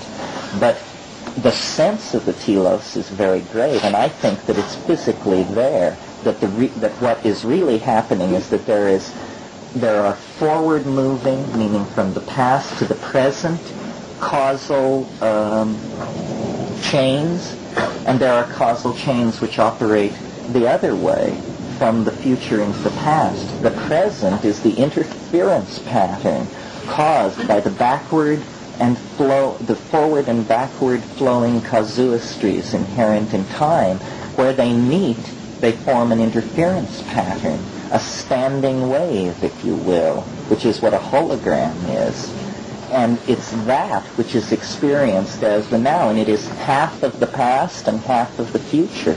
One of the interesting things I've noticed about the future. I want to stop there because I, I disagree, and I think that that interface pattern uh, requires operation of consciousness.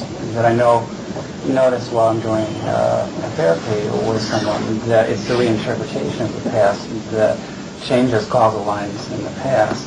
That's not simply something laid down in the past that comes to the future, uh, into the present, but it's our interpretation of what the past was that makes it real. But in that sense, the past is a part of the present. Yeah. It was Proust who said the past can never be understood until it is remembered. Yeah. And it's that I And it's remembered each way in a different way. It's restructured each time that you remember. Yes, nothing, nothing is fixed. This Yeah. is for sure. And in some ways it seems to me working with my clients that it isn't the past they're really talking about, but they're symbolizing certain aspects of their perception of present reality in terms of certain memories, in terms of certain way of seeing the past. Well, the past is The screen is something constantly, constantly changing. I mean, one could study Yeah, yeah. the changing past. Did you know that the Renaissance was invented in the 1850s? It didn't exist before a German historian decided that's what had happened. And now we live in the light of the Renaissance, you know? It's just uh, we don't question. any- nobody was running around Florence talking about how great it is that we're living in the Renaissance now, you know. History is fiction. history is fiction, or Stephen Dedalus said, history is the nightmare I am trying to awaken from. I was wondering, in terms of telos, the, uh, the, the psychotropics, to get back to the plant, would be, uh, could they be analogous to an entelechy At the end of time. that is uh, drawing us to the future? Yes, I think so. I mean, I, I'm basically on this issue fairly platonic. I mean, I think that, uh, you know, Plato said time is the moving image of eternity. And that, I think, is probably true, that the, that eternity is all time. And when you, and it somehow exists in a higher dimensional matrix than what we experience so that we can only section that dimension to create the three or four dimensional world that we live in. But that there is this uh, this platonic completedness at least in essence whatever that means. And that sort of carries me back to my time maps. They don't say what will happen they only say that certain levels of novelty and its lack will be fulfilled at certain points in time by some set of events. You see the difference? So you can't have an absolute determinism. If you have an absolute determinism, you preclude the possibility of thought meaning anything. It just means I'm saying what I'm saying because I have to say it. You're thinking what you're thinking because you must think it. So an absolute determinism is hopeless and indefensible and destroys the intellectual enterprise entirely. So we have to have a free future. But how free, you know, looking at the case of the Golden Gate Bridge and the number of people who will jump off it. And certain things are very uh, bound. The time of sunrise tomorrow morning, you wouldn't feel great trepidation about making a prophecy about that. but nevertheless, forces could be invoked which would make it rise earlier or later. But it is very much embedded in the matrix of inertia. But everything interesting is not, is much hmm. more up for grabs. Yeah.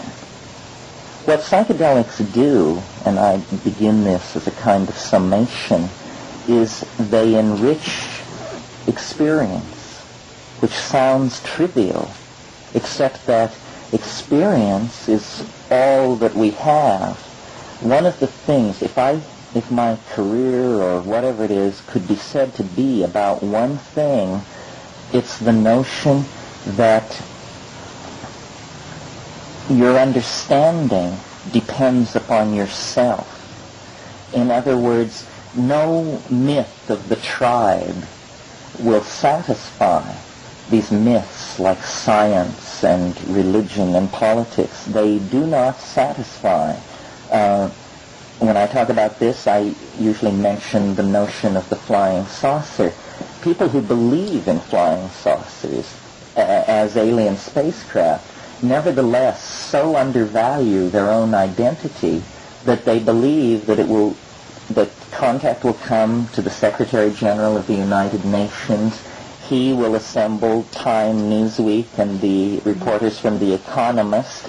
They will get together with Carl Sagan and whoever, and they will all explain it to all of us, and then we will understand what's going on. This is a um, a sold out point of view. You have accepted their definition of you as a citizen.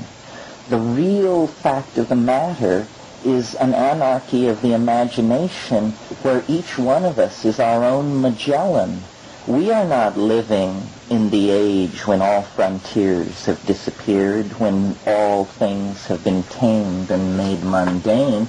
We are living in uh, the most exciting era that has ever been because we are about to turn to the real terra incognito, which is the terra incognito in our minds, and uh, it is for us to do. And this is why the drugs are so controversial, because they free you from the myth of the tribe. And that single fact, the fact that they decondition you, they don't decondition you at the chemical level, like make you forget everything you believe, so you have to start over. They decondition you at the ideological level. So you just look around at the society you're in and its contradictions and uh, preposterous assumptions are perfectly visible to you. And that frees you then to create a new world through self-experience, not by taking Heidegger's word for it or somebody else's word for it, but creating it through your own experience. And this is what we should all be involved in. And this would carry us to psychological balance. It's trying to make sense of our intuitions in the light of the enormous pressure to accept prepackaged ideologies that makes neurotics of us all. And the only, the only way out of that is to step back from it and to say, I will only believe what I know. I will be like someone from Missouri. you know, show me and I'll believe it. This is why I always, my favorite person in the New Testament is, uh, is Thomas, the doubter. because if you will recall, uh, Christ uh, returned to, the apostles were gathered in the upper room, and Christ came to them, I think on the 40th day, but Thomas was not there. So then later, and then Christ went away, and so then Thomas came, and they said, the Master was with us. And he said, you know, you guys have been smoking too many of those little brown cigarettes. The Master has gone from the plane. Unless I put my hand into the wound, I will not believe it. So then a few days later, Thomas was with them, and Christ came again. And he said to him, Thomas, put your hand into the wound that you might believe. And he did, and he believed. Okay, so what, what conclusion do we draw from this story? The conclusion is that of all of the people, of all of the disciples, the only person in all of human history recorded to have actually touched the incorporeal body of the risen Christ was Thomas the Doubter. And he was allowed that. He was vouchsafed that unique uh, um, blessing because he doubted. And that's, yes, he insisted on experiencing it himself. And so he touched the incorporeal body, the white stone at the end of time. And this is what we are trying to do because, you know, if you can get your hand on the doorknob, you can turn it and walk through. And uh, the Secretary General of the United Nations need not be at your elbow. Nobody need be at your elbow. And this is what shamans know. They have touched the doorknob, turned it, and walked through, and they are out of time and out of history. And their immense personal presence, or at least the immense personal presence that I have experienced uh, among the ones who are genuine, is because they have taken responsibility for their model of the world and have modeled the world based entirely on their own experience. Yes. One question. I mean, uh, I was never exposed to any drugs, never tried any drugs, never anything. And the way you're talking uh, feels to me like this is the only way to um, be aware, to become awareness of our own being, our own.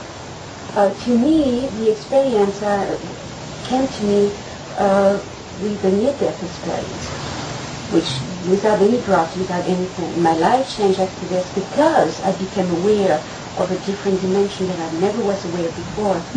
But it was without drugs, without anything. So Yes, how can well- you explain this? No, I don't think drugs are the only way.